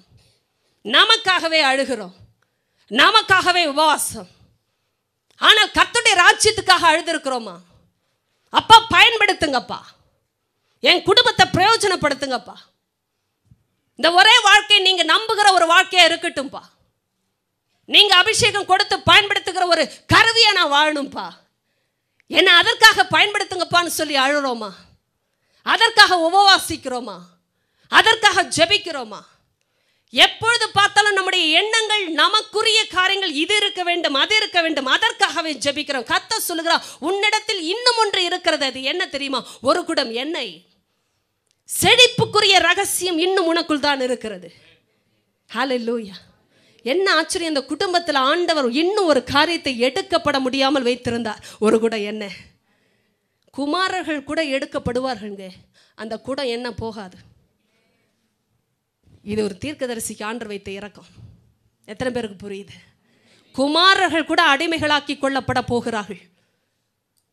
கட்டின புருஷன் கூட மறித்து போனான் ஆனால் ஒரு தீர்க்கதரிசியுடைய குடும்பத்தில் குடம் எண்ணெயை மட்டும் கத்த தொட விடலை. எத்தனை பேருக்கு புரியுது உங்கள் வாழ்க்கையில் ஆண்டவர் கொடுத்த ரகசியம் இதுதான். எது வேண்டுமானாலும் தொடப்படலாம். தேவனால் கொடுக்கப்பட்ட அந்த திறவுகோலுக்கு ஆதாரமாக இருக்கிற அந்த எண்ணெய் யாரும் கை வைக்க முடியாது. ஹாலே லூயா ஒரு தேவனுடைய மனுஷனிடத்தில் போய் நிற்கும்போது அந்த கூட்டம் என்ன? அவன் வாழ்க்கையில் இருந்தது. குமாரர்களே போக போகிறார்கள். ஆனால் குடம் என்ன? போகலை. ஆண்டவர் தீர்க்கதரிசிக்கு வைத்திருக்கிற நம்பிக்கை சகோதர சகோதரி நீங்கள் நினைக்கலாம் நான் தீர்க்கதரிசி இல்லை. நான் சொல்லுகிறேன் ஆண்டவருடைய அபிஷேகம் உங்கள் வாழ்க்கையில் இருக்கும் என்றால் தீர்க்கதரிசியின் அபிஷேகத்திற்காக நீங்கள் கேட்கிற வாஞ்சையுள்ள மனுஷன் என்றால் நீங்கள் தீர்க்கதரிசி. ஏன் தெரியுமா? கத்தர் அப்படிப்பட்ட வாஞ்சையுள்ள பாத்திரங்களை தான் உருவாக்குகிறார். பயன்படுத்துகிறார். அபிஷேகம் தீர்க்க தரிசனத்தோடு உங்களுடைய வாழ்க்கையில் வர வேண்டும் என்று ஆசைப்படுகிறீர்கள். அப்பா என் வாழ்க்கை அனைவருடைய வாழ்க்கையை கட்டணும் ஆண்டவரே. காயம் தீர்க்கணும்.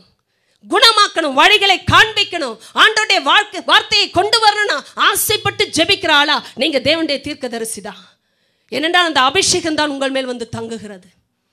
ஆச்சரிய இந்த மனுஷி போய் நீ உன்னுடைய அயல் வீட்டுக்கார எல்லாரிடத்திலும் அநேகம் வெறும் பாத்திரங்களை கேட்டு வாங்கி. கேட்டு வாங்கு. உன் சூழ்நிலை விட்டு வெளியே போய் மக்களுடைய வாழ்க்கையில வெறும் பாத்திரங்களை கேட்டு வாங்குமா? வெறும் பாத்திரம். ஏன்னா நன்றாய் கவனிங்க மனுஷங்கிட்ட போய் நிறைச்சு கொடுங்கன்னா தான் பயந்துருவாங்க. நிறைய பேர் அடுத்தவங்க வீட்டுக்கு போனாலே பாத்திரங்களை கேட்க மாட்டாங்க. நிரம்பின பாத்திரங்களை தான் கேட்பாங்க. சில பேர் வீட்டில் நிரம்பி வந்தால் தான் உறவே இருக்கும். பாத்திரமாக கொடுக்கக்கூடாது போட்டு கொடுங்க. நம்ம கடன் வாங்கின பொழுதெல்லாம் எதற்கு போனோம்? கடனுக்கு. யோசித்து பாருங்க வெறும் பாத்திரத்தை கேட்க போனோம். கொஞ்சம் வீட்டில் இருக்கிற பாத்திரத்தை கொடுங்கன்னா சிரிச்சிடுவாங்க. போட்டு கொடுத்தா தான் கடன் வாங்குறவங்களுக்கு ஒரு அடையாளம். ஏன்னா சர்க்கரையோ ஒரு மிளகாவோ ஒரு மிளகாய் வற்றலோ ஏதோ ஒன்று தேவை என்றால் கேட்கும் பொழுது நிறைந்த பாத்திரங்களை தான் கேட்பாங்க. ஆனால் இந்த ஸ்திரீ கடன்பட்ட குடும்பத்திலிருந்து போகிறாள் என்ன செய்கிறாள் தெரியுமா? வெறும் பாத்திரங்களை கேட்டு வாங்குகிறாள். நல்லா சொல்லுகிறதை நன்றாய் கவனிங்கள் இந்த ஸ்ரீ போய் வாங்கும் பொழுதே அந்த அற்புதம் தொடங்கி விட்டது எத்தனை பேருக்கு புரியுது? நீங்கள் போய் கேட்குற இடமெல்லாம் வெறும் பாத்திரங்கள். எதை மனதில் வைத்து வெறும் பாத்திரங்களை கேட்டீர்கள் தெரியுமா? அதை நிரப்புவது நீங்கள் அல்ல என் தேவாதி தேவன். ஹalleluya. ஆனால் என்னுடைய வாழ்க்கை என்பது தனிப்பட்ட வாழ்க்கை இல்லை உங்களோடு இணைந்த வாழ்க்கை தான். கவனிங்க ஒரு தீர்க்கதரிசியின் அபிஷேகம் விசேஷமானது. ஆனால் அவர்கள் இருக்கிற இடம் ஜனங்கள் மத்தியில் தான். கத்த சொல்கிறார் மக்கள் இல்லாமல் உன்னுடைய மிரக்கள் இல்லை. நீ அவங்க கிட்ட தான் கேட்டு வாங்க போகிறாய். ஏனென்றால் உன்னிடத்தில் பாத்திரங்கள் போதாது. மனுஷங்க கிட்ட இருக்கிறது தாங்க ஊழியம். எத்தனை பேர் புரிந்து கொள்ளுகிறீர்கள்? தேவன் என்னை அடைத்தார். என்னை பார்த்து கொள்ளுவார். நானாக இருப்பேன் நானாக போவேன் என்ற ஆளுக்கு அபிஷேகம் இல்லை. இன்றைக்கு அதுதான் வித்தியாசமான செய்தி சிலருக்கு. ஒருவர் இடத்திலும் கூட நாம் தாழ்த்தாமல் அவருடைய தேவைக்கு நேரம் கொடுக்காமல் அவர்களுக்காக பரிந்து பேசுகிற ஒரு மனநிலைமை கூட இல்லாமல் அபிஷேகம் வேண்டும் தீர்க்க தரிசனம் வேண்டும் என்றால் நடப்பது இல்லை. காரணம் நாம் அயல் வீட்டுக்காரரை மனதில் வைப்பது இல்லை. கத்த சொல்ல அயல் வீட்டுக்கார இடத்துல தான் நீ போய் வாங்க போகிறாய். பரலோகத்திலிருந்து நேராக வராது. கவனிங்க தேவனுடைய ஸ்ட்ராட்டஜிஸ்லாம் வித்தியாசமானது. நிரப்புற வேலை அவருடையது வாங்குகிற வேலை நம்முடையது. உறவுகளை வாங்கணும். ஜெப குறிப்புகளை வாங்கணும். ஜெபத்தோடு ஜெபித்து ஒருமனப்படுகிற நண்பர்களை வாங்கணும். சில பேர் தனியா இருக்கிறீங்க சர்ச்சில் I feel sorry for you தனியாக வர்றது தனியாக போகிறது ஆனால் நீங்கள் நினைக்கிறீங்க நீங்கள் விசுவாசின்னு. தேவன் சபையில் அந்த காரியத்தை வைக்கல. நன்றாய் கவனிங்க சில பேர் தனியாக வரீங்க தனியாக போறீங்க. ஏன்னா உங்களை பொறுத்த வரைக்கும் சபையில் ஆராதனை முடிஞ்சா போதும். நீங்க ஆராதித்து விட்டீர்கள் என்று நினைக்கிறீர்கள் தேவனால் தொடப்பட்டீர்கள் என்று நினைக்கிறீர்கள் ஆனால் தனியாக வாழுறீங்க. உங்களுக்கு கூட சேர்ந்து ஜெபிக்கு இன்னொரு ஜெப நண்பர் இல்லை. கூட ஒருவரோடு நின்று பரிந்து பேச இன்னொரு ஜெப குறிப்போடு நிற்கக்கூடிய ஆள் இல்லை. யோசித்து பாருங்க ஆனால் நீங்கள் தனியாக வரீங்க. நான் சொல்றது நல்லா கவனிங்க. நீங்கள் குடும்பமாய் கூட வரலாம் ஆனால் உங்கள் குடும்பம் தனியாக இருக்கு சபையில். இந்த ஸ்ரீ கடன்பட்டு குறுகி போன நிலைமையில கர்த்த சொல்லுங்க நீ வெளியில போய் அயல் வீட்டுக்காரிடத்தில் பாத்திரங்களை வாங்கு. நான் சொல்கிறத நன்றாய் கவனிங்கள். நீ போட்டு கொடுமான்னு சொன்னால் கூட சரி இந்த பொண்ணுக்கு ரொம்ப கஷ்டத்தில் இருக்கா ஏதோ கடன் கேட்க வந்திருக்கிறாள் கொடுப்போம் என்று நினைக்கலாம். வெறும் பாத்திரங்களை ஒரு ஸ்திரீ கேட்கும் பொழுது கொடுத்திருக்கிறார்கள். எத்தனை பேருக்கு புரியுது? வெறும் பாத்திரங்களை கொடுத்திருக்கிறார்கள். அப்படின்றால் என்ன அர்த்தம்? அவங்க வாழ்க்கையில் ஒன்றை அவள் எதிர்பார்த்தது எல்லாம் வெறுமையான பாத்திரங்கள் தான். நீங்க எனக்கு நிரப்பி கொடுக்க வேண்டும் என்ற அவசியம் இல்லை. ஏன் கேட்கிறாய்? எனக்கு வேண்டும். அதற்கு ஒரு நோக்கம் இருக்கிறது. கவனிங்க ஒரு பிரியாணிக்கு டேக்ஸா வாங்கி வச்சிருப்பாங்க ஒரு அம்மா. அன்னைக்கு அந்த ஸ்ரீ வந்து கேட்ட உடனே நல்லா கவனிங்க இந்த ஸ்ரீக்கு மிரக்கல் ஏற்கனவே ஸ்டார்ட் ஆயிடுச்சு லைஃப்ல ஏன் தெரியுமா? அவள் போய் கேட்கும் பொழுதே எதை மனதில் வைத்து போய் கேட்டால் தெரியுமா? தீர்க்கதரிசின் வாயிலே தேவன் பேசியிருக்கிறா கேட்டு வாங்கு கேட்டு வாங்கு அதுவும் வெறும் பாத்திரம். ஏன் கேட்க சொன்னார் என்று அவள் யோசித்திருப்பாள் வீட்டில் ஒரு குடம் என்ன இருக்கிறது என்று நான் சொன்னேனே ஏனென்றால் உன் வீட்டில் என்ன இருக்கிறது என்று அல்லவா தேவன் கேட்க சொன்னார்? என் வீட்டில் இருக்கிற எண்ணெயில் ஏதோ ஒன்று இருக்கிறது. கர்த்தர் இப்பொழுது வெறும் பாத்திரங்களை கேட்க சொல்லுகிறார் என்றால் அதிலும் ஏதோ ஒரு நோக்கம் இருக்கிறது. அவளுடைய வாழ்க்கையின் அற்புதம் அவள் கேட்க துவங்கின பொழுதே ஆரம்பித்து விட்டது. அவள் கேட்ட பொழுது ஒரு ஸ்திரீ பாருங்கள் எண்ணெய் ஊற்ற வேண்டும் என்றால் எவ்வளவு பாத்திரம் வேண்டும்? சிலர் பாருங்கள் எண்ணெய் ஊற்றுவதற்கென்றே வாத்து போலெல்லாம் மூக்கு வைத்து சிலரை வைத்திருப்பார்கள். இத்தனை வைத்தாலும் ஊற்றலாம் இவ்வளவு இருந்தாலும் ஊற்றலாம். ஆனால் ஒரு ஸ்திரீயுடைய வீட்டிலே ஒரு பிரியாணி செய்யக்கூடிய டெக்ஸாக இருந்ததுங்க அவ சொன்னா என் வீட்டில் இருக்கிற பெரிய பாத்திரத்தை தரட்டுமா? இந்த ஸ்ரீ சொன்னாள் கொடு. நான் யோசிக்கிறேன் எவ்வளோ பெரிய பாத்திரம் வந்ததோ அவ்வளோ பெரிய பாத்திரம் நிறைய எண்ணெயும் வந்தது. அப்போ எவ்வளோ பெரிதாய் கொடுத்தார்களோ அவ்வளோ பெரிதாய் தேவன் நிரப்பினார். ஒரு வீட்டில் வீட்டில் வெறும் பாத்திரமாக இருந்து போகிற பாத்திரங்கள் உண்டு. உண்மையா? சேர்த்து வைத்தது கூட தெரியாது நம்ம வாழ்க்கையில். ஒரு நாள் கபடு என் வீட்டிலேயே இருக்கிறது. அதில் கற்பாம்பூச்சி முட்டை போட்டு தலைமுறைக்கு வாழ்ந்திருப்பாங்க. ஆனால் அன்றைக்கு தான் தெரியும் இவ்வளோ கற்பாம்பூச்சி நம்ம வீட்டில் தான் இருந்தது. ஏன்னா நம்ம சேர்த்து வைத்து பார்க்கவே பிறந்தவர்கள். சாகும்பொழுது கூட அந்த குண்டா அண்டான் சட்டியை உள்ளே வைக்க முடியாது. சவப்பெட்டியில் இடம் இல்லை. நாம் இருப்பதே பெரிய விஷயம் அந்த பெட்டியில். கவனிங்க சில பேர் வாழ்க்கையில் சேர்த்து வைத்தே மறித்திருக்கிறார்கள். ஆனால் அன்றைக்கு நான் ஸ்தோத்திரிக்கிறேன் தேவனை சில ஸ்திரீகள் எடுத்து கொடுத்தார்கள். ஏன் ஸ்திரீகள் என்று சொல்லுகிறேன் தெரியுமா? புருஷமார்களுக்கு தெரியாத ரகசியமே அங்கே தான் இருக்கு. ஸ்திரீகளுக்குத்தான் தெரியும் அதெல்லாம். எதை கொடுக்கலாம் என்றும் தெரியும் எதை வைக்கலாம் என்றும் தெரியும். அன்றைக்கு சில ஸ்திரீகள் எடுத்து கொடுத்தார்கள். சாதாரண பிரியாணி கிண்டி பத்து பேருக்கு சாப்பாடு போட்டால் கூட பெருமை இல்லைங்க உலகத்தில். அன்று அந்த பாத்திரத்திற்கு இருந்த பெருமை என்ன தெரியுமா? பரலோக தேவனின் அதிசயமாகிய அவருடைய தொடுதலாலே அந்த எண்ணெய் நிரப்பப்பட்ட பாத்திரமாய் ஒரு நாள் மாறிற்று. தேவனுடைய பர்பஸ்க்காக சில பாத்திரங்கள் காத்து கொண்டு இருக்கிறது வாழ்க்கையில். நீங்கள் கேட்டு வாங்கினாதான் அது வெளியே வரும். ஆனால் உங்கள் வாழ்க்கையை பார்க்குறவங்களுக்கு தெரியணும் இந்த ஸ்ரீ வந்து கேட்கிறாள் என்றால் இவள் ஒரு தரிசனத்தோடு வந்து கேட்கிறாள்.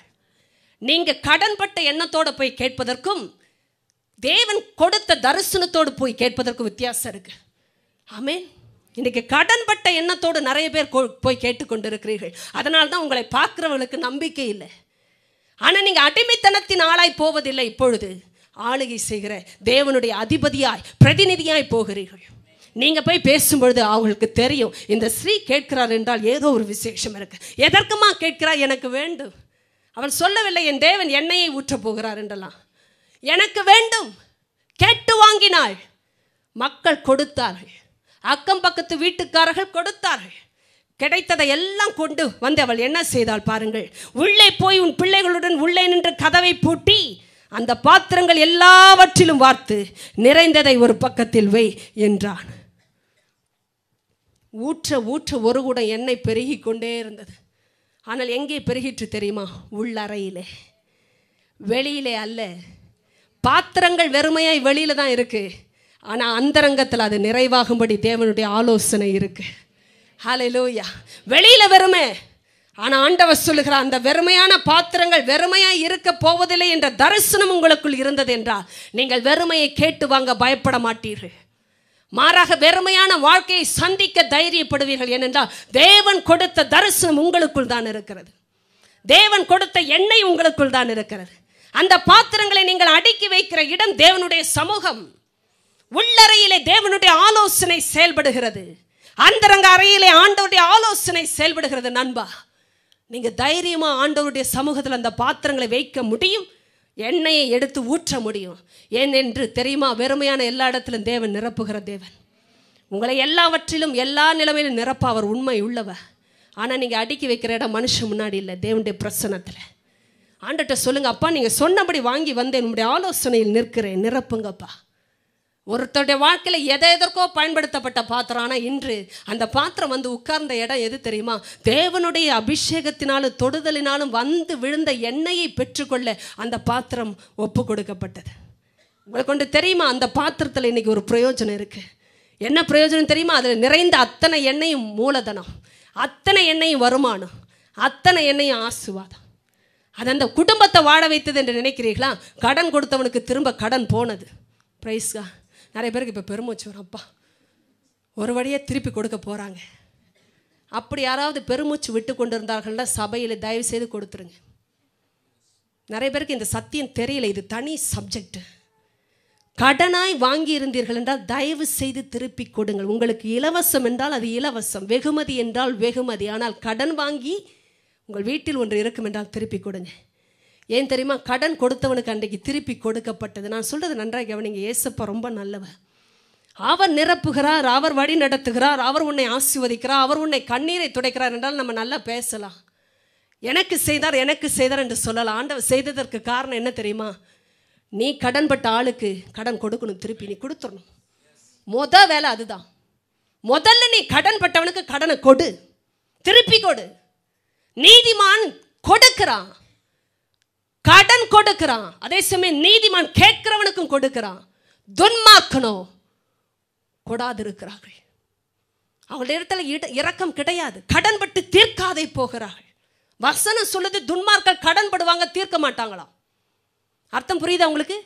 நீங்க நீதிமானா இருந்தா நன்றாய் கவனிங்க. உங்க வீட்டில் பசி வறுமை இருக்கிறதெல்லாம் அடுத்தது. முதல்ல கடன் பட்ட ஆளுக்கு நீங்க கடன் கொடுக்க தீர்க்கணும். கொடுத்து தீர்க்கணும். தயவாய் சொல்லுகிறேன். தேவனுடைய நாமத்தில் சொல்லுகிறேன். ஊழியக்காரிய அவருடைய அதிகாரத்தில் சொல்லுகிறேன். நீதிமான் என்ற பெயரை வைத்துக்கொண்டு கடன் பட்டவர்களுக்கு நீங்கள் தண்ணி காட்டாதீங்க. உங்கள் வீட்டுக்கு வந்து பலமுறை கேட்கும்படி வைக்காதீங்க. பலமுறை உங்ககிட்ட சொல்லி கேட்கும்படி வைக்காதிருங்கள். நீங்கள் கடன்பட்ட காரியம் அது. தேவனுக்கு முன்பாக முதல்ல தீர்த்து விடுங்க. ஆண்டவர் ஒரு ஆளை ஆசிர்வதிப்பதற்கு ரகசியமே. உங்களாலே ஒரு நஷ்டத்தை பெற்றவங்க லாபம் அடையணும். எனக்கு ஆச்சரியம் இந்த கடன் கொடுத்த ஒரு மனுஷன் அன்றைக்கு சந்தோஷமாக போனார் அந்த வீட்டிலேருந்து அம்மா இவ்வளோ சீக்கிரம் எங்கள் பணத்தெல்லாம் திருப்பி கொடுத்து விட்டாய். அவர் மனது ஒருவேளை உருகி இருக்கும் இந்த பைபிளில் அதெல்லாம் எழுதலை. ஆனால் அவள் வாழ்க்கையில் ஒரு சாட்சி இருந்திருக்கும். தீர்க்கதரிசி வீடுனா அதுதாங்கய்யா ஒரு தீர்க்கதரிசினா அப்படிதான் இருக்கணும். அந்த மனுஷன் இருந்தாலும் பாருங்கள் போனாலும் பாருங்கள் கடன் கொடுத்தது திருப்பி கொடுத்துட்டாங்க. அது சாட்சி. உங்களால் இன்னொருத்தர் பெருமூச்சு விடக்கூடாதுங்க. சபைக்கு வர்ற நீங்கள் நீதிமான்கள் தீர்க்கதரிசியின் அபிஷேகத்தில் வாழ வேண்டும் என்று ஆசைப்படுகிறீர்களா? ஒரு வாழ்க்கையில் நிறைவே கொடுக்கிறார் என்றால் என்ன அர்த்தம்? நம்மளால் ஒரு ஆள் நஷ்டப்படக்கூடாது. எனக்கு கொடுத்ததினாலே இன்னொருவர் கண்ணீர் சிந்தக்கூடாது. என் வறுமை அடுத்தது என் பிரச்சனை அடுத்தது. ஆனால் என் நிமித்தம் ஒருத்தர் பெருமூச்சு விடக்கூடாது. இன்றைக்கு உலகமே பார்த்து கொண்டிருக்கிற ஒரு சாட்சி ஒரு விசுவாசிக்கிட்ட அதுதான். வாக்கில் உண்மையாக இருங்க.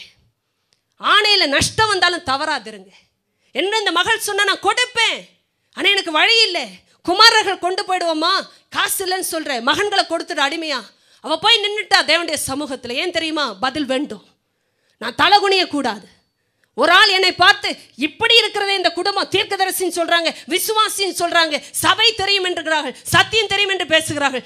கடன் கொடுத்ததை திருப்பி கொடுக்கவில்லை என்று ஒருவர் பெருமூச்சு விடக்கூடாது. தேவன் ஒரு அதிசயத்தை செய்வதற்கு காரணம் அவர் கர்த்தர் என்பதை உங்கள் மூலமாய் ஜாதிகள் அறிய வேண்டும். இன்றைக்கு எழுந்து நின்று நம்ம கேட்க போகிறோம் ஒருவேளை நான் சொல்கிறது நல்லா கவனிங்க. இது ப்ராக்டிக்கல் மெசேஜ் இன்றைக்கி நம்ம கிட்ட கொடுத்துருக்கிற இந்த சாவியை நாம் வைத்துக்கொண்டு மற்றவர்களிடத்தில் திறக்க சொல்லி கேட்டுக்கொண்டு இருக்கிறோம் உங்ககிட்ட இருக்கிற இருக்கிற விஷயத்தை தான் கர்த்த பிறக பண்ண வைக்க போகிறார். ஆமே அது என்ன என்பதை தேவ சமூகத்தில் இன்றைக்கு சொல்லி நீங்கள் வார்க்க போகிறீர்கள். எது எதெல்லாம் வெறுமைன்னு உங்கள் வாழ்க்கையில் நினைக்கிறீங்களோ அத்தனையும் நீங்கள் தேவ சமூகத்தில் எடுத்து வைங்க இன்னைக்கு அப்பா இது வெறுமை இது வெறுமை இது வெறுமை இது இவ்வளோ பெரிய வெறுமை. பரவாயில்லை. ஆண்டோ சொல்ல நான் நிரப்புவேன். ஆனால் உங்ககிட்ட இருக்கிறது என்னன்னு ஆண்டவர் கேட்குறார். அந்த அபிஷேகம் அந்த திறமை அந்த கிருபை அந்த வாய்ப்பு உங்கள் முன்னாடியே தேவன் வைத்திருக்கிறாரே. ஆண்டவரை உமக்காக நான் விட்டு கொடுக்குறேன். வார்க்க துவங்குகிறேன் என்று சொல்வீர்களா? கொடுக்குற வாய்ப்பை நோ சொல்கிற சில பேர் உண்டு. ஜெபிக்க சொன்னாலும் ஜெபிக்க மாட்டீர்கள். போய் சந்தித்து விட்டு வாருங்கள் என்று உங்களை யாராவது கேட்டிருக்கிறார்கள். யாராவது போய் ஜெபிக்க வரீங்களா? அந்த இடத்துல சிக் பர்சன் இருக்கிறார். சுகமாக்கணும். தேவன் சொல்லி செய்யணும். வந்து ஜெபிப்பீர்களா என்று கேட்டபொழுது நிராகரித்திருக்கிறீர்கள். ஏனென்றால் நீங்கள் அழைக்கப்படவில்லை என்று நினைக்கிறீர்கள். கத்துடைய அபிஷேகம் இருந்தும் நிராகரித்து இருக்கிறீர்களா தேவன் சொல்லுகிறார் வார்க்க ஆரம்பி ஊற்ற ஆரம்பி அதை நான் நிரப்புவேன். ஒரு நாள் உங்களுடைய அபிஷேகம் உங்களை தாண்டி அநேகரை போய் சந்தித்து விடுதலையாக்க போகிறது. எழுந்து நிற்கலாமா தேவ சமூகத்தில் ஜெபிக்கலாம். வார்த்தை ஐயா. உடைய வார்த்தை சுத்திகரிக்கிற வார்த்தை. இந்த காலை வேளையில தேவனுடைய வார்த்தையின் வல்லமை இந்த இடத்திலே கட்டவிழ்க்கப்பட்டதற்காக ஸ்தோத்திரம். சுத்திகரிப்பு வர வேண்டிய இடத்திலே சுத்திகரிப்பு உண்டாகட்டும் ஆண்டவரே. விடுதலை வர வேண்டிய இடத்திலே விடுதலை வரட்டும். இயேசுவின் நாமத்திலே வெறுமையான பாத்திரங்கள் நிரப்பப்படுகிற ஆலோசனை பரத்திலிருந்து கட்டமைக்கப்பட்டதற்காக ஸ்தோத்திரம் ஆவியானவரே. இந்த காலை வேளையில என்னோடு சேர்ந்து ஜெபிக்கிற மக்களுக்காக நான் வருகிறேன். சிறிய ஆலயத்திலும் இந்த சபைக்குள்ளும் நின்று ஜெபிக்கிற பிள்ளைகள் ஓ உம்முடைய ஆலோசனையை பெற்ற இடத்திலே நிற்கிறார்கள் ஐயா. இயேசுவின் நாமத்திலே பரலோகம் திறப்பதாக. இந்த வார்த்தை சுகமாக்கும். எந்த சூழ்நிலையும் சுகமாக்கும் அந்த வார்த்தை. சகோதர சகோதரி ஆண்டவுடைய அபிஷேகம். அவருடைய ஆலோசனையை கேட்ட உங்களுடைய வாழ்க்கையிலே கடந்து வருகிறது. அப்பா என்னை நிரப்புங்க. நான் வெறுமையான பாத்திரம். தன்னை ஒப்பு கொடுத்தவள். கவனிங்கள் இப்படிப்பட்ட வாழ்க்கையில் இருக்கிறவர்களுக்கு சோகமே இருக்காதா? எந்த வெறுமையும் வராதா? எந்த எந்த விதமான பிரச்சனையும் உண்டாகாதா என்று நீங்கள் நினைப்பீர்கள் என்றால் வேதம் பிரச்சனையில் தான் இங்கே ஆரம்பித்திருக்கிறது. வேதம் ஒரு பிரச்சனையை குறிப்பிட்டு தான் இந்த இடத்தில் பேசுகிறது. அவள் வந்து சொன்னதே ஒரு பிரச்சனை. என்ன பிரச்சனை? வாழ்க்கையிலே ஒரு பெண்ணுக்கு வரக்கூடாத பிரச்சனை. அதுவும் தீர்க்கதரிசியின் வீட்டிலேயா? எலிசா என்ற தீர்க்கதரிசிக்கு அடியனாக வாழ்ந்த ஒரு மனுஷனுக்கா? அதுவும் கர்த்தருக்கு பயந்து ஜீவித்த ஒரு மனுஷனுக்கா? தேவ பிள்ளையை இன்று ஆண்டவருடைய அடிமை என்று சொல்வதை விட ஆண்டவருடைய ஊழியக்காரியாய் ஊழியக்காரனாய் நீங்கள் தேவன் கொடுத்திருக்கிற அதிகாரத்திற்கு ஒப்பு கொடுத்து வாழ்கிற ஒரு மனுஷயா மனுஷனாய் இருப்பீர்கள் என்றால் கவனியுங்கள். கர்த்தர் உங்களுடைய வாழ்க்கையிலே சில சூழ்நிலைகள் அனுமதிக்கப்படும் பொழுது நீங்கள் அங்கலாய் போடு. ஏன் இது எனக்கு நடக்க வேண்டும் என்று கதறுதோடு வந்திருப்பீர்கள் என்றால் கத்துடைய வார்த்தை உங்களுக்கு நேராகத்தான் வருகிறது. ஆண்டவரே நான் உமக்கு ஒப்பு கொடுத்து நீர் கொடுத்த அதிகாரத்திற்கு ஒப்பு கொடுத்து என்னை தாழ்த்தி ஊழியம் செய்வதற்காக நான் வாஞ்சிக்கிற இந்த வாழ்க்கையிலே ஏனப்பா இந்த சோதனை வர வேண்டும்? கவனிங்கள் இந்த மகளுக்கு வந்த சோதனை ஒரு ஸ்திரீக்கு வரக்கூடாத சோதனை ஏனென்றால் கணவர் மறித்து போனார். இவள் விதவையாக்கப்பட்டிருந்தாள். அது மாத்திரமல்ல கடன் கொடுத்தவன் இப்போது என் இரண்டு குமாரரையும் தனக்கு அடிமைகளாக்கி கொள்ள வந்தான் என்றாள். அவளுக்கு இருந்ததே ரெண்டு மகன்கள் தான் திருமணம் அவர்களுக்கு ஆயிற்றா இல்லையா என்று வேதம் சொல்லவில்லை ஆனால் ஒன்று தெரியும் இந்த குடும்பம் கடன்பட்டு இருந்தார்கள் அன்றாய் கவனிங்கள் கடன்பட்ட ஒரு வாழ்க்கை அடிமைத்தனத்திற்குள் கொண்டு போகிறது. நீதிமான்களே கவனியுங்கள் எத்தனையோ நீதி தேவனுக்குரிய பயம் இருந்தும் இந்த குடும்பத்துக்கு ஏன் கடன் வாங்க வேண்டிய சூழ்நிலை வந்தது என்று எனக்கு தெரியவில்லை வேதம் அதை சொல்லவில்லை. ஆனால் இந்த குடும்பம் கடன்பட்டு இருந்தது கணவர் தன்னுடைய வாழ்க்கையிலே இந்த வாங்கின கடனை எப்படியாகிலும் முடித்து விடலாம் என்றுதான் வாங்கியிருப்பார். ஆனால் அவர் மறித்து போனார். கவனிங்க சில நேரம் நாம் செய்யலாம் என்று நினைக்கிற காரியங்கள் மறித்து போகும். தீர்க்கதரிசியின் அனுபவம் இதுதான். என்னால் முடியும் என்று நினைத்த காரியங்கள் முற்றுப்புள்ளியை காணும். உதவுவார்கள் என்று நினைத்தவர்கள் கைவிடுவார்கள். நம்பிக்கை இருக்கிறதை போன்று தெரிந்த எதிர்காலம் இல்லாமலேயே போனது போலாகும். தேவ பிள்ளையே உங்களுடைய வாழ்க்கையிலே கடன்பட்ட நிலைமையிலே நீங்கள் அப்பத்துக்கு இறந்து திரிகிற சூழ்நிலைக்குள் தள்ளப்பட்டிருந்தாலும் கவனியுங்கள். ஆண்டவருக்கு பயந்து ஜீவிக்கிற ஒரு மனுஷனுக்கு ஒரு மனுஷிக்கு கர்த்தரே பராமரிக்கிற பரிகாரியாய் மாறுகிறார். தேவனை அன்றி ஒரு தீக்கதரிசிக்கு நம்பிக்கை இல்லை என்பதை அறிவதற்காகவே ஆண்டவர் செய்கிறார். கணவர் இருந்தார் இப்பொழுது இல்லை. படம் இருந்தது ஆனால் கடனாக வாங்கப்பட்டது. திருப்பி கொடுக்க நிர்வாகம் இல்லை. மகன்கள் மாத்திரமே இருந்தார்கள். அவர்களையும் கொண்டு போக கடன் கொடுத்தவன் வந்து விட்டான். வாழ்க்கையில் வாழ்க்கையில நீதிமானா இருந்தும் கடன்பட்டு இருக்கிறீர்களா கர்த்தர் சொல்லுகிறார் உங்களுடைய வாழ்க்கையிலே அந்த கடனிலிருந்து வெளியே வருவதற்குரிய ரகசியம் கர்த்தரிடத்தில் தான் இருக்கிறது. மனுஷனிடத்தில் இல்லை.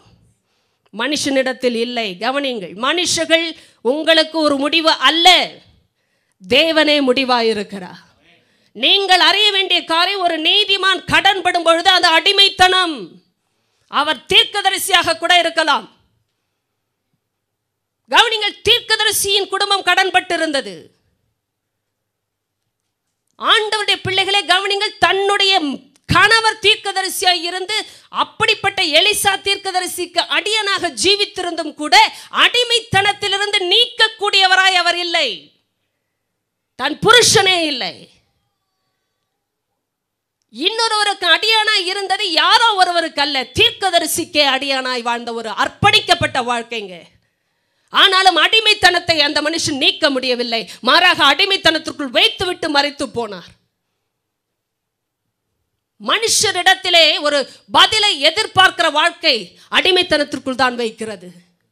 ஏனென்றால் மனுஷரிடத்தில் விடுதலை இல்லை. கவனிங்கள் தேவ பிள்ளையே ஒரு மனுஷனுடைய முகத்தை பார்க்காதீங்க உதவிக்காக. விடுதலைக்காக ஒரு மனுஷனை பார்க்காதிருங்கள். ஏனென்றால் எல்லா மனுஷர்களும் குறைவுள்ளவர்கள். எல்லை வரைமுறைக்கு உட்பட்டவர்கள். யாருக்கும் உதவி செய்யக்கூடிய திராணி என்பது ஒரு வரைமுறைக்கு மேல் இல்லை. ஆனால் இந்த ஸ்திரீக்கு ஒன்று தெரியும். கவனிங்க எனக்கு ஆச்சரியம். இந்த ஸ்திரீ போய் பேசின இடம் வேறு இடத்துல இல்லை. இவள் பணக்காரர் இடத்தில் போய் பேசவில்லை. கவனித்தீர்களா? பணம் இருக்கிற ஆள்கிட்ட போய் இந்த ஸ்திரீ பேசல. எத்தனை பேருக்கு புரியுது? செல்வாக்கு உள்ள ஆள்கிட்ட போய் பேசல. என் புருஷன் இறந்து போனார் கடன் பட்டு இருக்கிறார். என் குடும்பம் கடன்ல இருக்கு. என் குமாரரை கொண்டு போக போகிறார்கள். ஐயா உதவி செய்யுங்க என்று சொல்லி பணக்காரன் காலிடத்தில் போய் விடல. வேலை கொடுப்பாங்கன்னு போய் இன்னொரு ஆள் காலில் விடலை உதவி செய்யுங்கன்னு சொல்லி ஒரு ஆள் காலில் போய் விடலை. எந்த தீர்க்கதரிசன அபிஷேகத்தை கொடுத்து எந்த மனிதனுக்கு கீழ் அதிகாரத்தில் உட்பட்டு இருக்க ஒப்பு கொடுக்க தேவன் படித்து கொடுத்தாரோ அதே தேவனுடைய மனுஷனிடத்திற்கு திரும்பி போனாள். ஏனென்றால் அதுதான் ஆரம்பம் அதுதான் முடிவு ஒரு தீர்க்கதரிசிக்கு. ஆண்டுடைய பிள்ளையை அழைத்த அழைப்பில் உயரத்தில் எங்கே கர்த்தர் உங்களை வைத்தாரோ அதே இடத்துக்கு திரும்பி போங்க.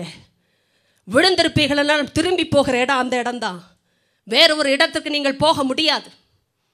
கர்த்தர் எதற்காக உங்களை வேறு பிரித்தாரோ அழைத்தாரோ முன்குறித்தாரோ அபிஷேகித்தாரோ வரங்களை கொடுத்து வாழ வைத்தாரோ மற்றவர்களையும் உங்களையும் அந்த இடத்தில் இருப்பது தான் உங்களுடைய அபிஷேகம்.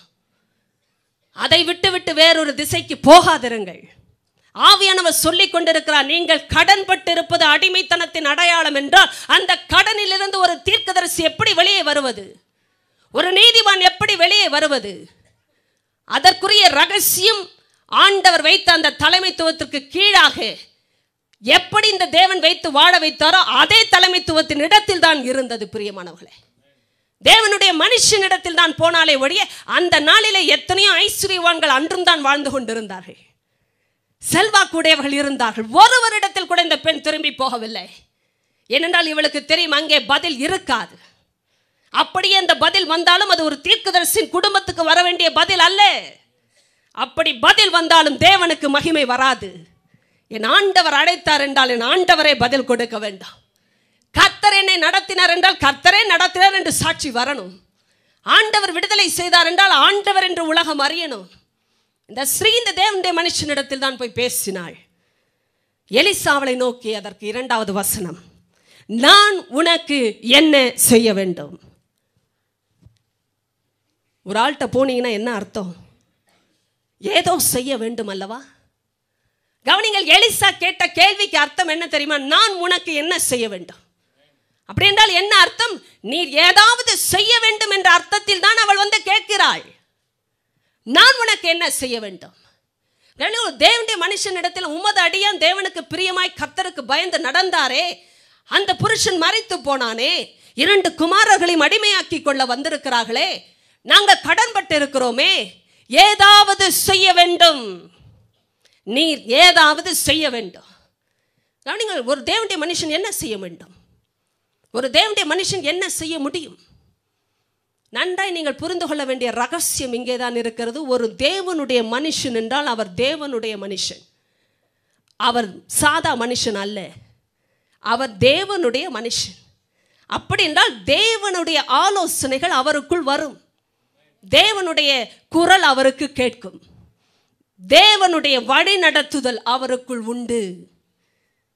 தேவ பிள்ளைகளே கவனிங்க சில நேரம் நம்முடைய வாழ்க்கையில பிரச்சனை கஷ்டம் கடன் என்று வந்தால் காசு பணத்திற்காக வேண்டுமானால் மனுஷனிடத்தில் போகிறோம். ஆனால் ஆண்டவருடைய ஆலோசனைக்கு தேவனுடைய மனுஷனிடத்தில் போவதில்லை. எத்தனை பேருக்கு புரிகிறது? We go through so much of loss and pain, but we lose the counsel of God from above. We only think about the losses. எனக்கு இது இல்லை அது இல்லை இந்த கஷ்டம் அந்த கஷ்டம் என்னுடைய பிரச்சனை இது என்னை கேட்டால் நலமா இருக்கும் என் துக்கத்தை ஆற்றினால் நலமா துக்கத்தை பற்றி தான் பேசுகிறோமே ஒழிய மாறாக தேவனுடைய மனுஷனிடத்தில் போய் நிற்கிறேன் என்றால் என்ன அர்த்தம் தேவனுடைய ஆலோசனை எனக்கு வேண்டும் என்ற அர்த்தம் அவர் பேசினால் அவர் எப்படி பேசுவார் நான் உனக்கு இதை செய்கிறேன் அதை செய்கிறேன் என்று பேசுவதை விட்டுவிட்டு நீ என்ன செய்ய வேண்டும் என்று பேசுவா? கர்த்தர் சொல்லுகிற நீ போய் நீ போய் என்ன செய்ய வேண்டும்? கவனிங்க. The miracle begins with you it's initiated from your own life நீ போய் வீட்டில் முடங்கி இருந்து கடன்பட்டு இருக்கிறேன் ஐயோ பிள்ளைகள் போக போகிறார்கள். எனக்கு ஒன்றும் இல்லை இது இல்லை அது இல்லை என்றெல்லாம் புலம்புவதை விட்டுவிட்டு போ வெளியில என்றார் ஆண்டவர். எத்தனை பேருக்கு புரியுது? வீட்டில் என்ன இருக்குல்ல? வெளியில் போன்றார் எத்தனை பேருக்கு புரிந்தது? புரிந்ததோ இல்லையோ? கர்த்தருக்கு தெரியும். ஆண்டவருக்கு ஸ்தோத்திரம் உண்டாவதாகன்னு சொல்லி ஹalleluya சொல்லுங்க பார்ப்போம் புரிந்துவிடும். வீட்டில் என்ன இருக்குல்ல? வெளியில் போன்றார் ஆண்டவருடைய அபிஷேகம் உள்ள இருக்குல்ல? வெளியில் போங்க. இது இல்லை அது இல்லை. நீங்கள் என்ன செய்ய முடியும் என்றெல்லாம் மனுஷங்கிட்ட ஆலோசனை கேட்காதீங்க.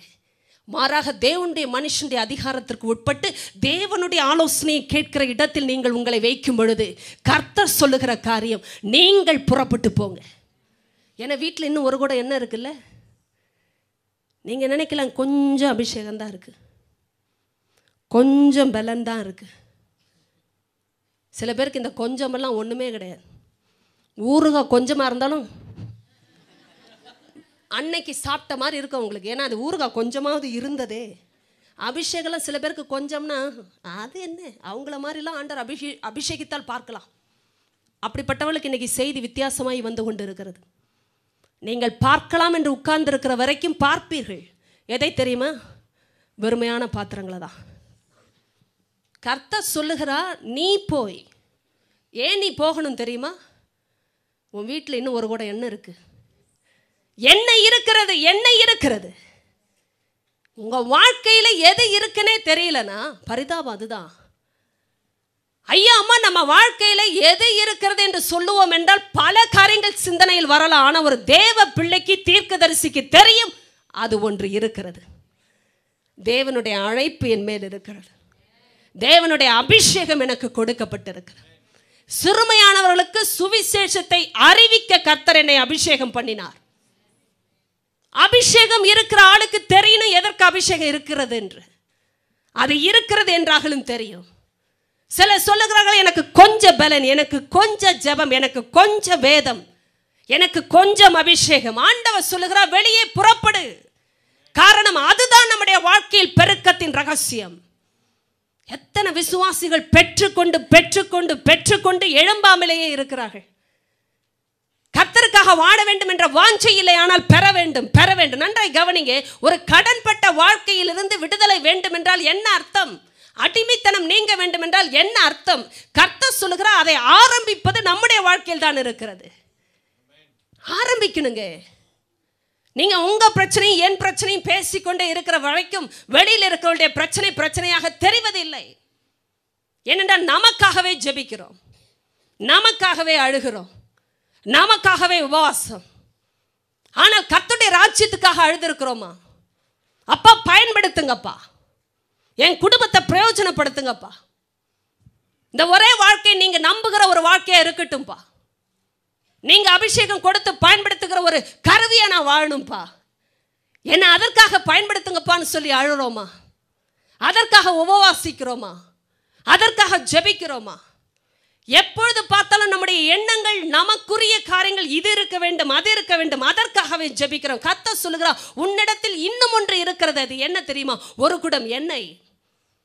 செழிப்புக்குரிய ரகசியம் இன்னும் உனக்குள் தான் இருக்கிறது. ஹalleluya என்ன ஆச்சரியம் இந்த குடும்பத்தில் ஆண்டவர் இன்னும் ஒரு காரியத்தை எடுக்கப்பட முடியாமல் வைத்திருந்தார். ஒரு குடம் எண்ணெய். குமாரர்கள் கூட எடுக்கப்படுவார்கள்ங்க. அந்த குடம் என்ன போகாது. இது ஒரு தீர்க்கதரிசிக்கு ஆண்டு வைத்த இறக்கம் எத்தனை பேருக்கு புரியுது? குமாரர்கள் கூட அடிமைகளாக்கி கொள்ளப்பட போகிறார்கள். கட்டின புருஷன் கூட மறித்து போனான் ஆனால் ஒரு தீர்க்கதரிசியுடைய குடும்பத்தில் குடம் எண்ணெயை மட்டும் கத்த தொட விடலை. எத்தனை பேருக்கு புரியுது உங்கள் வாழ்க்கையில் ஆண்டவர் கொடுத்த ரகசியம் இதுதான். எது வேண்டுமானாலும் தொடப்படலாம். தேவனால் கொடுக்கப்பட்ட அந்த திறவுகோளுக்கு ஆதாரமாக இருக்கிற அந்த எண்ணெய் யாரும் கை வைக்க முடியாது. ஹalleluya. ஒரு தேவனுடைய மனுஷனிடத்தை போய் நிற்கும்போது அந்த கூட்டம் என்ன? அவன் வாழ்க்கையில் இருந்தது. குமாரர்களே போக போகிறார்கள். ஆனால் கூட என்ன போகலை? ஆண்டவர் தீர்க்கதரிசிக்கு வைத்திருக்கிற நம்பிக்கை சகோதர சகோதரி நீங்கள் நினைக்கலாம் நான் தீர்க்கதரிசி இல்லை. நான் சொல்லுகிறேன் ஆண்டவருடைய அபிஷேகம் உங்கள் வாழ்க்கையில் இருக்கும் என்றால் தீர்க்கதரிசியின் அபிஷேகத்திற்காக நீங்கள் கேட்கிற வாஞ்சையுள்ள மனுஷன் என்றால் நீங்கள் தீர்க்கதரிசி. ஏன் தெரியுமா? கர்த்தர் அப்படிப்பட்ட வாஞ்சையுள்ள பாத்திரங்களை தான் உருவாக்குகிறார். பயன்படுத்துகிறார். அபிஷேகம் தீர்க்க தரிசனத்தோடு உங்களுடைய வாழ்க்கையில் வர வேண்டும் என்று ஆசைப்படுகிறீர்கள். அப்பா என் வாழ்க்கை அனைவருடைய வாழ்க்கையை கட்டணும் ஆண்டவரே. காயம் தீர்க்கணும். குணமாக்கணும். வழிகளை காண்பிக்கணும். ஆண்டோடைய வாழ்க்கை வார்த்தையை கொண்டு வரணும்னா ஆசைப்பட்டு ஜெபிக்கிற ஆளா நீங்க தேவனுடைய தீர்க்க தரிசிதான் ஏனென்றால் அந்த அபிஷேகம் தான் உங்கள் மேல் வந்து தங்குகிறது. ஆச்சரியம் இந்த மனுஷி போய் நீ உன்னுடைய அயல் வீட்டுக்கார எல்லாரிடத்திலும் அநேக வெறும் பாத்திரங்களை கேட்டு வாங்கி கேட்டு வாங்கு. சூழ்நிலை விட்டு வெளியே போய் மக்களுடைய வாழ்க்கையில வெறும் பாத்திரங்களை கேட்டு வாங்குமா? வெறும் பாத்திரம். ஏன்னா நன்றாய் கவனிங்க மனுஷங்கிட்ட போய் நிறைச்சு கொடுங்கன்னா தான் பயந்துருவாங்க. நிறைய பேர் அடுத்தவங்க வீட்டுக்கு போனாலே பாத்திரங்களை கேட்க மாட்டாங்க. நிரம்பின பாத்திரங்களை தான் கேட்பாங்க. சில பேர் வீட்டில் நிரம்பி வந்தால் தான் உறவே இருக்கும். பாத்திரமா கொடுக்கக்கூடாது போட்டு கொடுங்க. நம்ம கடன் வாங்கின பொழுதெல்லாம் எதற்கு போனோம்? கடனுக்கு. யோசித்து பாருங்க வெறும் பாத்திரத்தை கேட்க போனோம்.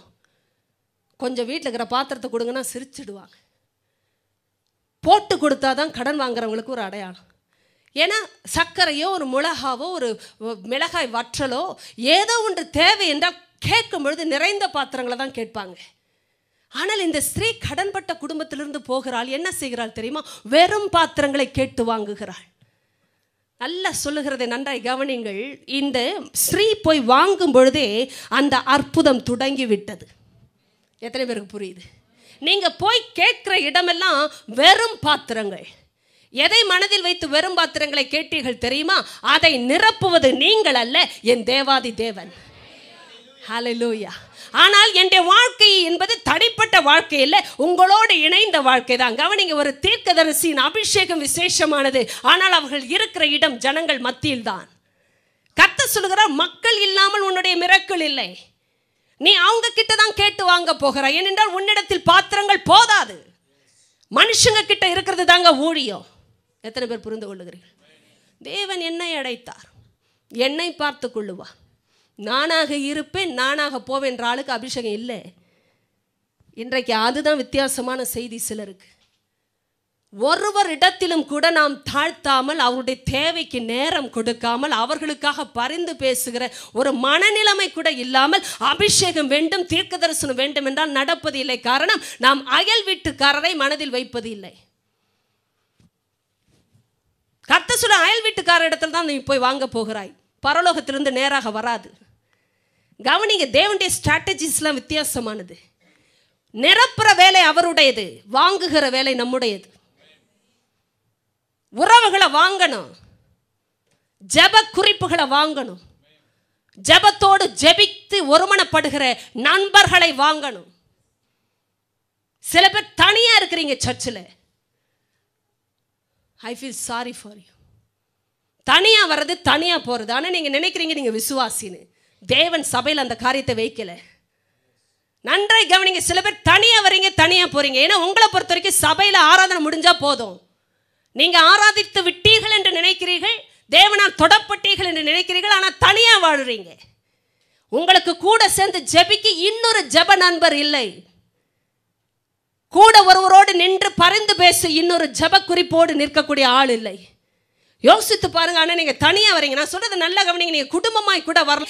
தேவ ஆலோசனைக்கு நாம் கவனம் கொடுப்பது இல்லை. இந்த ஸ்ரீ போய் கேட்ட உடனே அவ கேட்டா நான் உனக்கு என்ன செய்ய வேண்டும்? நான் உனக்கு என்ன செய்ய முடியும்? கவனிங்க அதுதான் அந்த அர்த்தம். நான் உனக்கு என்ன செய்ய வேண்டும் என்றால் என்ன அர்த்தம்? நீ ஏதோ செய்ய வேண்டும் என்று தான் வந்திருக்கிறாய். அதுவும் நான் உனக்கு ஏதோ செய்ய வேண்டும் என்று தான் வந்திருக்கிறாய். ஆனால் நீ வந்த இடத்தில் நடக்கப் போவது என்ன தெரியுமா? பணம் கொடுத்து உதவுவது அல்ல தேவ ஆலோசனையை கொடுத்து நடத்துவது. எத்தனை பேருக்கு புரிகிறது?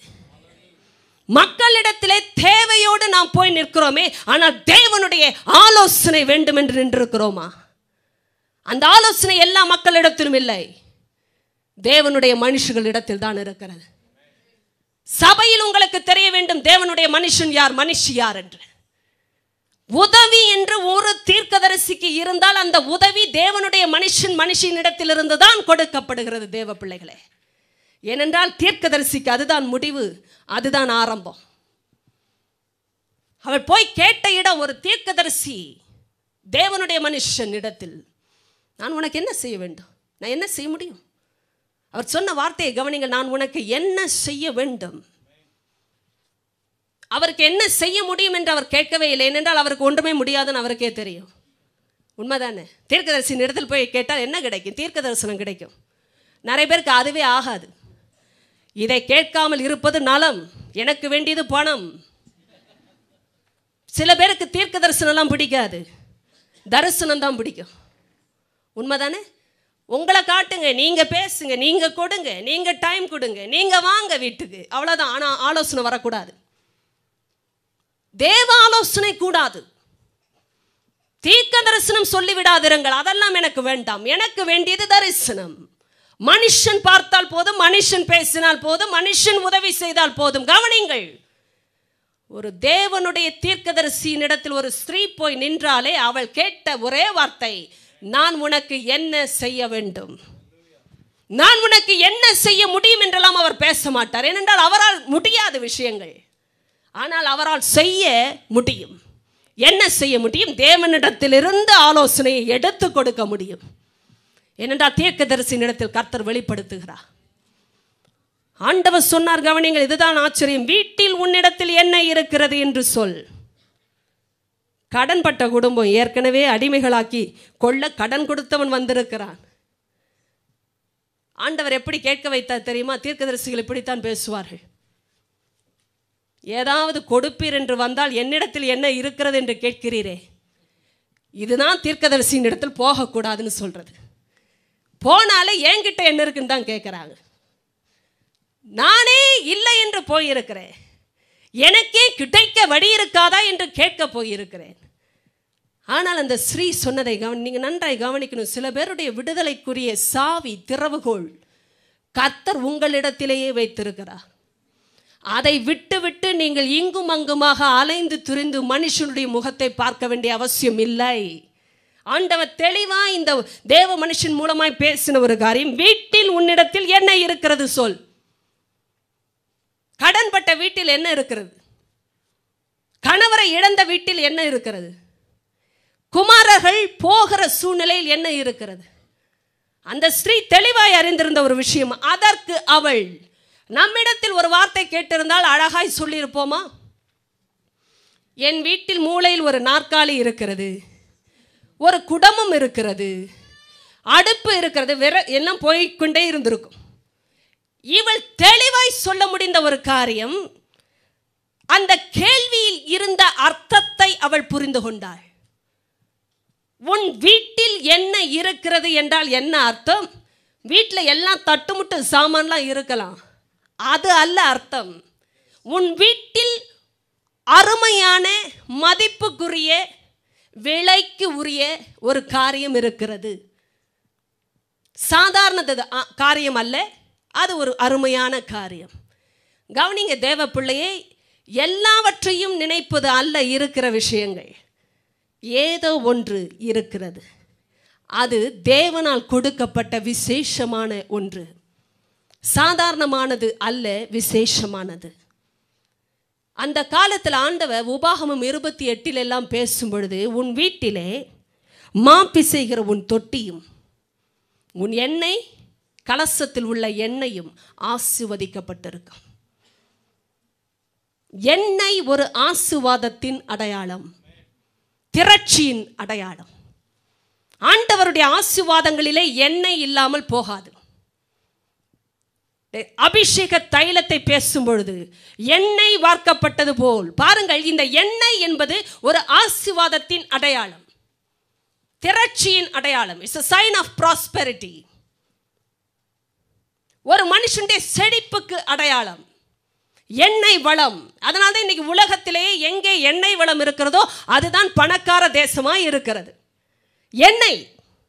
எண்ணெய் கிணறுகள் இருக்கிற தேசங்கள் பாருங்கள் இன்னைக்கு உலகத்திலேயே பணக்கார தேசங்கள். காரணம் எண்ணெய் வளம். எங்கே எண்ணெய் இருக்கிறதோ அங்கே செழிப்புக்கு உரிய அடையாளம் இருக்கிறது என்று அர்த்தம். ஆண்டவர் பாருங்க உங்க வீட்டில் இருக்கிற அரிசி மாவு ஆசிர்வதிக்கப்பட்டிருக்கும். கோதுமை மாவு ஆசிர்வதிக்கப்பட்டிருக்கும். சோளம் ஆசிர்வதிக்கப்பட்டிருக்கும். திணை ஆசிர்வதிக்கப்பட்டிருக்கும். ஒவ்வொன்றாய் பேச மாட்டா. ஒரே வார்த்தை ஆசிர்வாதத்துக்கு அடையாளமாக பேசி இருக்கிறார் மாவு எண்ணெய். இப்படிப்பட்ட காரியங்கள் ஒரு மனுஷனுடைய வாழ்க்கையில் இருக்கிற செழிப்புக்குரிய அடையாளங்கள். அவர் ஒரு நாளும் இது ஆசிர்வதிக்கப்பட்டிருக்கும் அது ஆசிர்வதிக்கப்பட்டிருக்கும் குடும்பத்தில் இருக்கிற ஒவ்வொரு பொருளாய் பேச மாட்டா. எது செழிப்புக்கு பிரதானமான பொருட்களோ தானியமோ அதை பேசுகிறார் கா- பாருங்கள் இந்த ஸ்ரீ சரியாய் சொல்ல முடிந்தது. அதற்கு அவள் ஒரு குடம் எண்ணெய் அல்லாமல் உமது அடியாளுடைய வீட்டில் வேறொன்றும் இல்லை. சரியாய் சொல்லுகிறார். கவனிங்க அவன் வீட்டில் எதெல்லாம் இல்லாமல் போயிற்று என்று நமக்கு தெரியாது. ஏனென்றால் குமாரரையும் அடிமைகளாக்கி கொள்ள வந்திருக்கிறார்கள் கடன் கொடுத்தவர்கள். இந்த சூழ்நிலையில் வீட்டில் உள்ள எதை எடுத்துக்கொண்டு போனார்களோ தெரியவில்லை. வேதமானால் ஒன்றை குறிப்பிட்டு சொல்லுகிறது. அவளுடைய வீட்டிலே ஒரு குடம் எண்ணெய் இருந்தது. ஒரு குடம் எண்ணெய் இன்னும் இருந்தது. ஒரு கடன்பட்ட குடும்பத்தில் ஒரு குடம் எண்ணெய் இன்னும் இருந்தது. சகோதர சகோதரி உங்கள் வீட்டில் எது இல்லாமல் போயிருக்கிறதோ எதை பிசாசு பட்சித்தானோ எது பக்க வந்து திருடி கொள்ளப்பட்டதோ எனக்கு தெரியாது. ஆண்டவர் சொல்லி கொண்டிருக்கிறார் உடைய குடும்பத்தில் ஏதோ ஒன்று இன்னும் இருக்கிறது.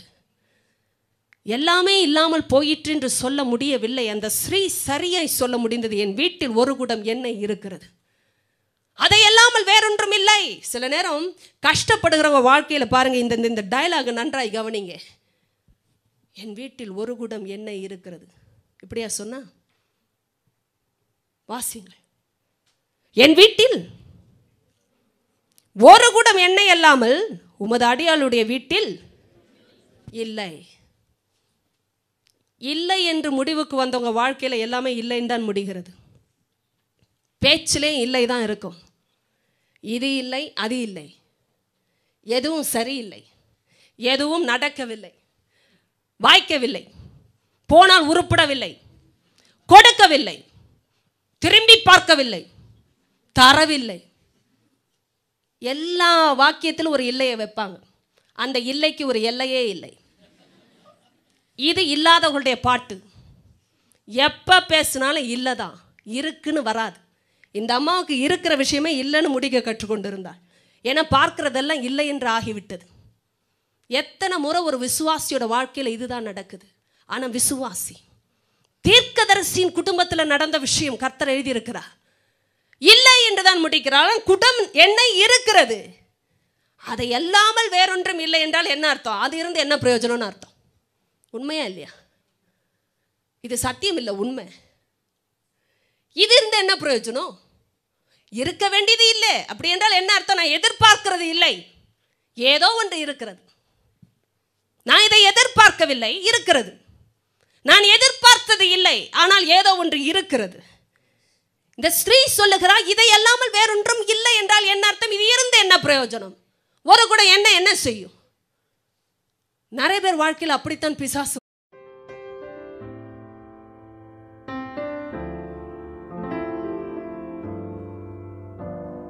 பணம் இருக்கிற ஆள்கிட்ட போய் இந்த ஸ்ரீ பேசல.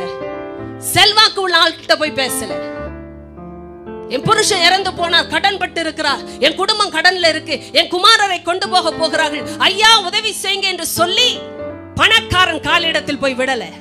எந்த தீர்க்க தரிசன அபிஷேகத்தை கொடுத்து எந்த மனிதனுக்கு கீழ் அதிகாரத்திலே உட்பட்டு இருக்க ஒப்பு கொடுக்க தேவன் படித்து கொடுத்தாரோ அதே தேவனுடைய மனுஷனிடத்திற்கு திரும்பி போனாள். ரெண்டு ராஜாக்களின் புத்தகம் நான்காவது அதிகாரம். ஒன்றிலிருந்து ஏழாவது வசனங்கள் வரை நான் வாசிக்கிறேன். தீர்க்கதரிசிகளுடைய புத்திரரில் ஒருவனுக்கு மனைவியாய் இருந்த ஒரு ஸ்திரீ எலிசாவை பார்த்து உமது அடியானாகி என் புருஷன் இறந்து போனான்.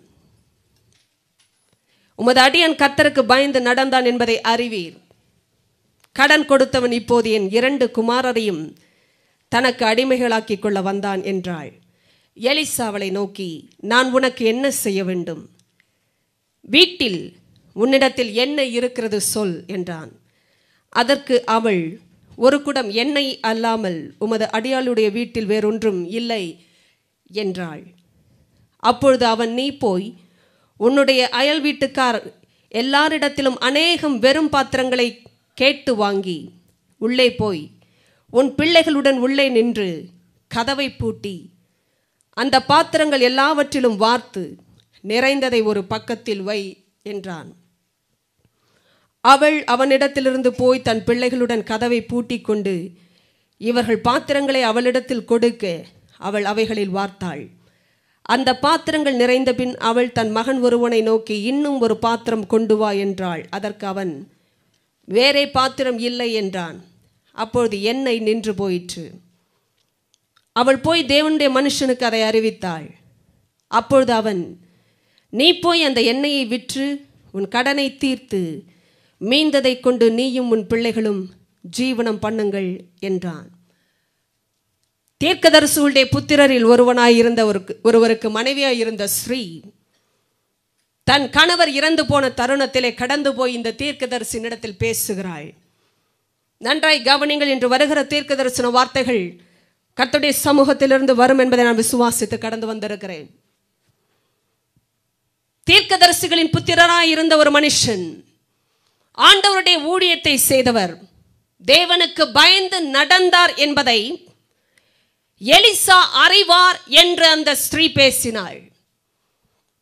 கவனிங்கள் ஆண்டவருடைய ஊழியத்தை செய்கிற ஜனங்களுக்கு வருகிற சூழ்நிலைகளை கர்த்தர் அந்தரங்கத்திலிருந்து வெளியரங்கம் வரை அறிகிற தேவன் மாத்திரமல்ல அவருக்காக ஜீவிக்கிறவர்களுக்கு வழியை திறக்கிறவர் மாத்திரமல்ல. அவருடைய வாழ்க்கையை மற்ற எல்லாரவரை விட உயர் ஸ்தலத்தில் வைத்து காட்டுகிற தேவனாகவும் இருக்கிறார். அலையலூயா ஏதோ ஒரு உதவியை அனுப்புகிறவர் மாத்திரமல்ல. உதவியின் வழியாக இவருடைய வாழ்க்கையை உயர்த்தி காட்டுகிறவர். ஏனென்றால் தேவனுடைய தீர்க்கதரிசிகள் என்று அழைக்கப்பட்டவர்களுடைய அழைப்பை அறிந்து கொண்டவர்கள் ஆண்டவரை அறிந்து கொண்டவர்கள் மாத்திரமே. ஆண்டவரை அறியாத பட்சத்தில் ஆண்டவரால் அழைக்கப்பட்டவர்களை அறிந்து கொள்ள முடியாது. ஆண்டவரால் அழைக்கப்பட்ட இந்த மனுஷன் தேவனுக்கு பயந்து நடந்தான் என்பதை நீர் அறிவீர். நன்றாய் கவனிங்கள் ஆண்டவருக்கு பயந்திருக்கிற வாழ்க்கை அந்தரங்கத்தில் இருந்து தொடங்குகிற ஒரு வாழ்க்கையா இருந்தாலும் அது வெளியரங்கமாக தெரிகிற ஒரு வாழ்க்கை.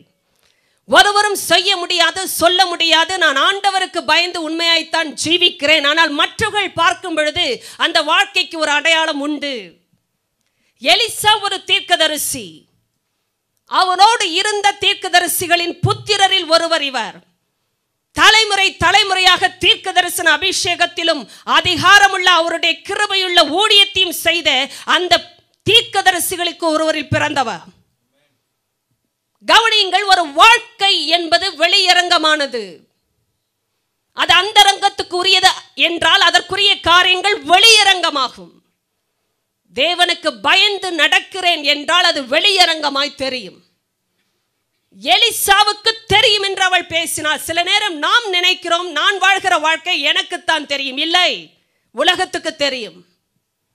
உங்களோடு இருக்கிற தீர்க்கதரிசிகளுக்கு தெரிய வரும். உங்களை ஆண்டவருக்குள் நடத்துகிறவர்களுக்கு தெரிய வரும். ஏனென்றால் அதுதான் தேவனுக்கு பயந்த வாழ்க்கையின் அடையாளமாக கனியாக மாறுகிறது. எலிசாவின் இடத்தில் போய் பேசும் பொழுது என் கணவர் ஆண்டவருக்கு பயந்தவர் என்றெல்லாம் அவள் பேசவில்லை. என் கணவர் என்று சொல்வதற்கு பதிலாக உமது அடியான். ஹalleluya. பாருங்கள் இந்த அதிகாரமும் இந்த வாழ்க்கையின் அந்தரங்கத்தின் காரியங்களும் விசேஷமானது. ஏதோ என் கணவருக்கு ஒரு பிரச்சனை வந்தது என் குடும்பத்திலே ஒரு பிரச்சனை வந்தது என்றெல்லாம் இந்த பெண்மணி பேசவில்லை.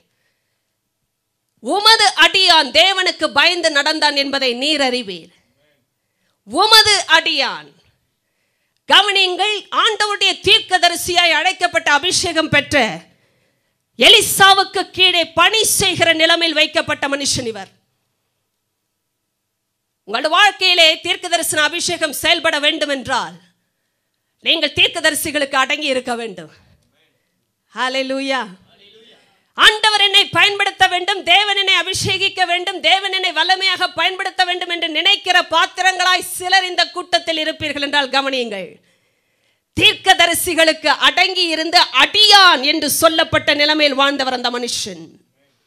என் புருஷன் இறந்து போனான் என்பதை சொல்வதற்கு முன்பாக உமது அடியானாகிய என் புருஷன் என்று அந்த ஸ்ரீ பேசினாள். அப்படி என்றால் தீர்க்கதரிசன அபிஷேகம் அந்த மனுஷனுடைய வாழ்க்கையில் இருந்து ஒரு தீர்க்கதரிசிக்கே புத்திரனாக பிறந்து வளர்ந்திருந்து ஒரு ஸ்திரீக்கு வாழ்க்கைப்பட்டிருந்தாலும் அந்த மனுஷன் இன்னொரு தீர்க்கதரிசியின் கீழ் அடங்கி இருந்த ஒரு மனுஷனாக இருந்தான். நன்றாய் கவனிங்கள் நீங்கள் தீர்க்க தரிசன அபிஷேகம் பெற்றவர்களிடத்திலே ஊழியர்களிடத்திலே கத்தர் உங்களுக்கு மேல் வைத்த அதிகாரத்திற்கு கீழாக உடைய வாழ்க்கையை அடங்கி இருப்பது என்றால் என்ன அர்த்தம்? ஆண்டுடைய கரத்துக்கு கீழாக இருக்கிற அந்த அதிகாரத்திற்கு நீங்கள் ஒப்பு கொடுக்கும் பொழுது மாத்திரமே ஆவியின் பரிமாற்றம் நடத்தப்படுகிறது.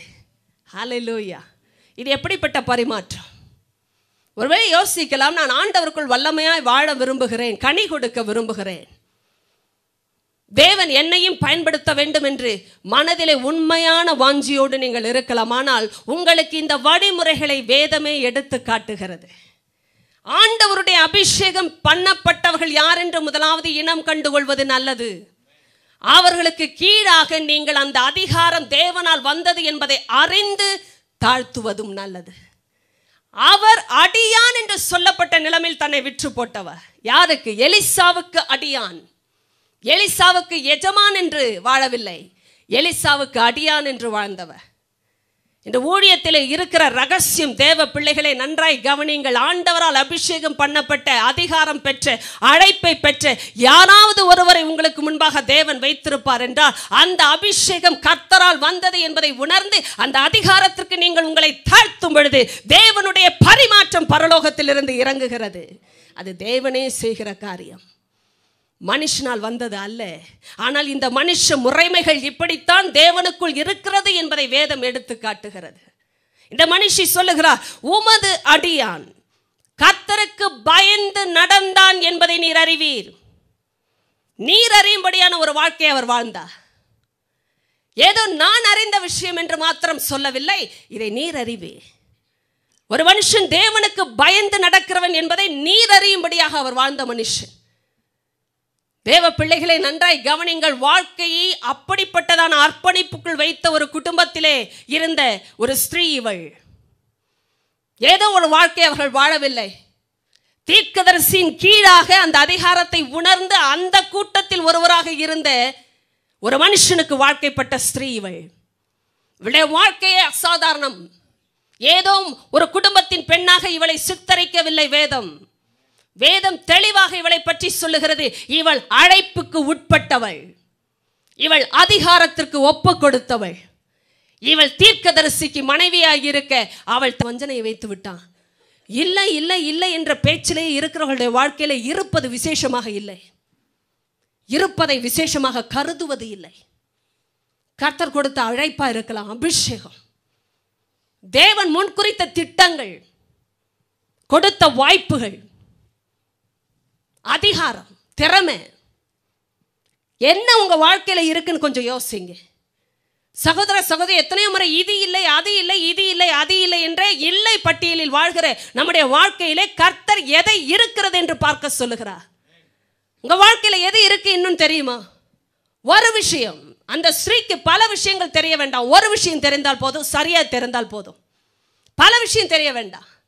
என் வீட்டில் ஒரு கூட என்ன இருக்குன்னு எனக்கு தெரியும். ஆனால் அதை தவிர வேறொன்றும் இல்லை என்றால் என்ன அர்த்தம்? அது இருந்த பிரயோஜனம் என்ன? ஒரு கூட எண்ணெயில் என்ன நடக்க போகிறது?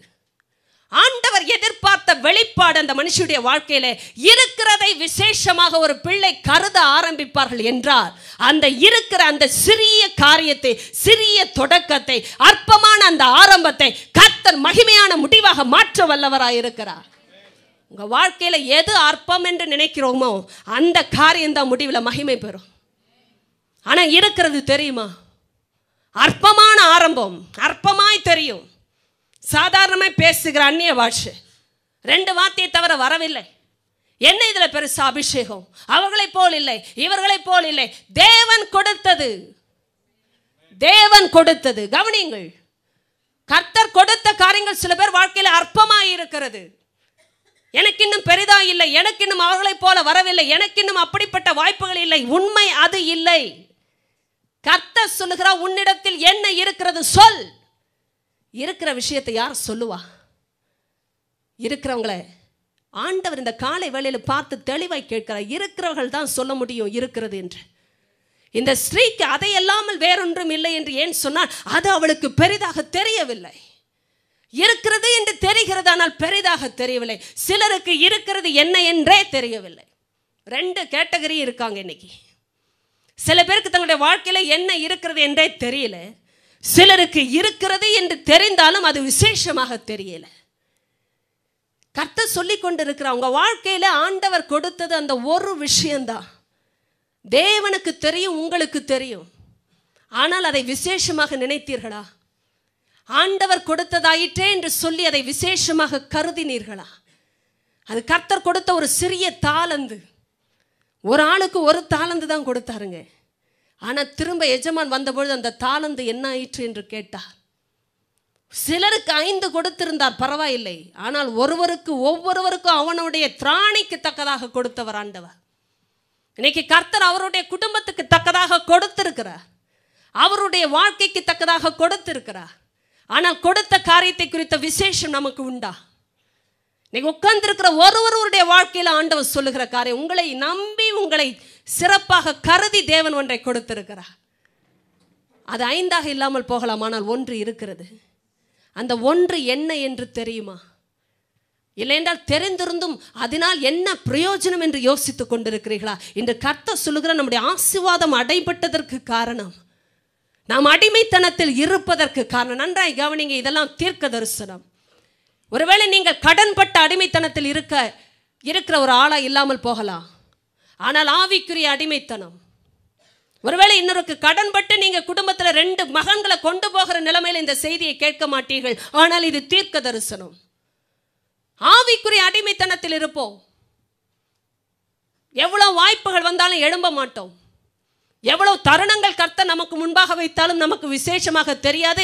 ஏனென்றால் நாம் மற்ற காரியங்களைத்தான் இருக்க வேண்டும் இருக்க வேண்டும் என்று பேசுகிறோமே தவிர இருக்கிற காரியம் விசேஷமாக நமக்கு தெரியவில்லை. எத்தனை முறை இது நடக்குது? இது வேண்டும் அது வேண்டும் இப்படி இருந்தால் நன்றாயிருக்கும் இப்படி தேவன் பயன்படுத்தினால் நன்றாயிருக்கும் என்று சொல்லிக்கொண்டே இருக்கிறோம். ஆனால் தேவன் பயன்படுத்த ஏற்கனவே வைத்திருக்கிற அந்த அருமையான தாளந்தை புதைத்து கொண்டிருக்கிறோம்.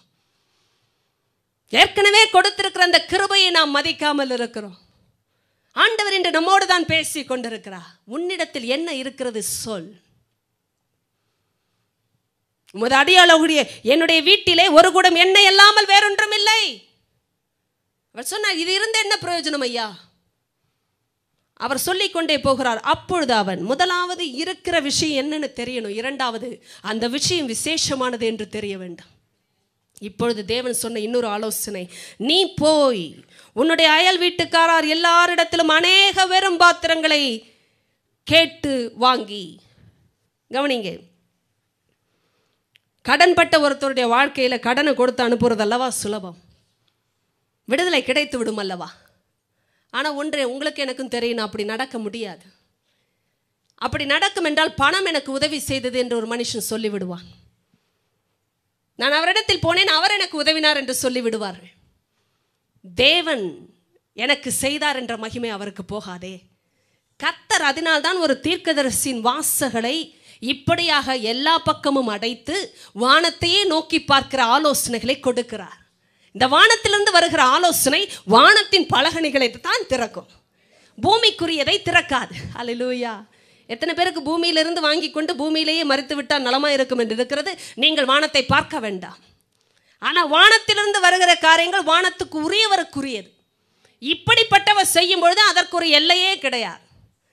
அது பலகணிகளை திறந்து செய்கிற காரியம் என்றால் அவர் செய்யும் பொழுது யாரும் தடுக்க முடியாது. அவர் செய்யும் பொழுது அது திரளான ஆசீர்வாதம் மாத்திரமல்ல அது தடை செய்யப்பட முடியாத ஆசீர்வாதம். அலையிலும் எத்தனை பேருக்கு அது புரிகிறது? நீங்களும் நானும் டெம்பரரி ரிலீஃப் டெலிவரன்ஸ்க்காக மனுஷனை பார்க்கணும்னா அது டெம்பரரியாக தான் முடிய போகுது. கவனிங்க. Some people are looking for temporary solutions you will get it but they are going to be only temporary தற்காலிகமாய் தற்காலிக நிலைமையிலேயே முடிய போகிறது. அது தொடராது. காரணம் அது பரலோகத்துக்குரியது அல்ல. மனுஷனுக்குரியது. நீங்கள் தேவனிடத்திலிருந்து பெற்றதென்றால் தேவன் தான் அதை தொடர பண்ணுவா தேவன் தான் அதை முடித்து காட்டுவா ஏமேன் ஆச்சரியம் என்ன தெரியுமா? இந்த மனுஷன் சொன்ன விஷயம் நீ போய். கடன் பட்ட ஆளை பார்த்து சொல்லுகிறார் நீ போய். கடன் வாங்கு. இது எப்படி இருக்கு? நாமெல்லாம் இப்படி சொல்லிவிட்டால் அவ்வளவுதான். என்ன ஒரு தீர்க்கதரிசி? வானத்தை பீத்து கொண்டு கொட்டு கொட்டென்று கொட்டும் என்றல்லவா பேசியிருக்க வேண்டும்? கடன் பட்ட நீ போய் கடன் வாங்கு.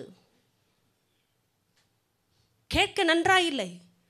ஒரு குடம் எண்ணெயையா வீட்டில் இருக்கிறது அதை தவிர வேறு ஒன்றும் இல்லை என்றால் என்ன அர்த்தம்? இது இருந்து என்ன பிரயோஜனம் என்ற அர்த்தம்?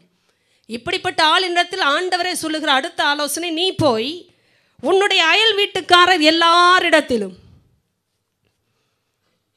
கடன் பட்டிருக்கிறேனே கடன் கொடுத்தவன் வந்து குமாரர்களை அடிமை அடிமைகளாக்கி கொண்டு போக போகிறானே என்று சொல்லி வீட்டுக்குள் அடங்கியிராமல் தெருவில் இருக்கிற எல்லாரிடத்திலும் போய் பாத்திரங்களை கேட்டு வாங்கு.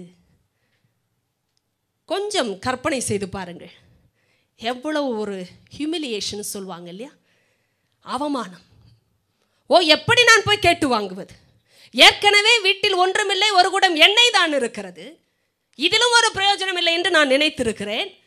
கர்த்தர் என்னை எப்படி விடுதலை செய்வார் என்று எனக்கு தெரியவில்லை. நான் உனக்கு என்ன செய்ய வேண்டும் என்று சொன்னவ ஆண்டவர் என்ன செய்ய எதிர்பார்க்கிறார் என்றே பேசிக் கொண்டிருக்கிறார். ஆண்டவர் என்ன செய்ய சொல்லுகிறார்? கவனிங்க சில நேரம் மனுஷன் கிட்ட போய் நீங்க ஏதாவது செய்ய முடியுமான்னு கேட்கிறீர்களே. கத்தர் எதை சொல்லுகிறார் தெரியுமா? நாம் என்ன செய்ய வேண்டும் என்று சொல்லி தருகிறார். இத்தனை பேருக்கு புரிகிறது சத்தியம். நீங்கள் ஏதாவது செய்ய முடியுமா?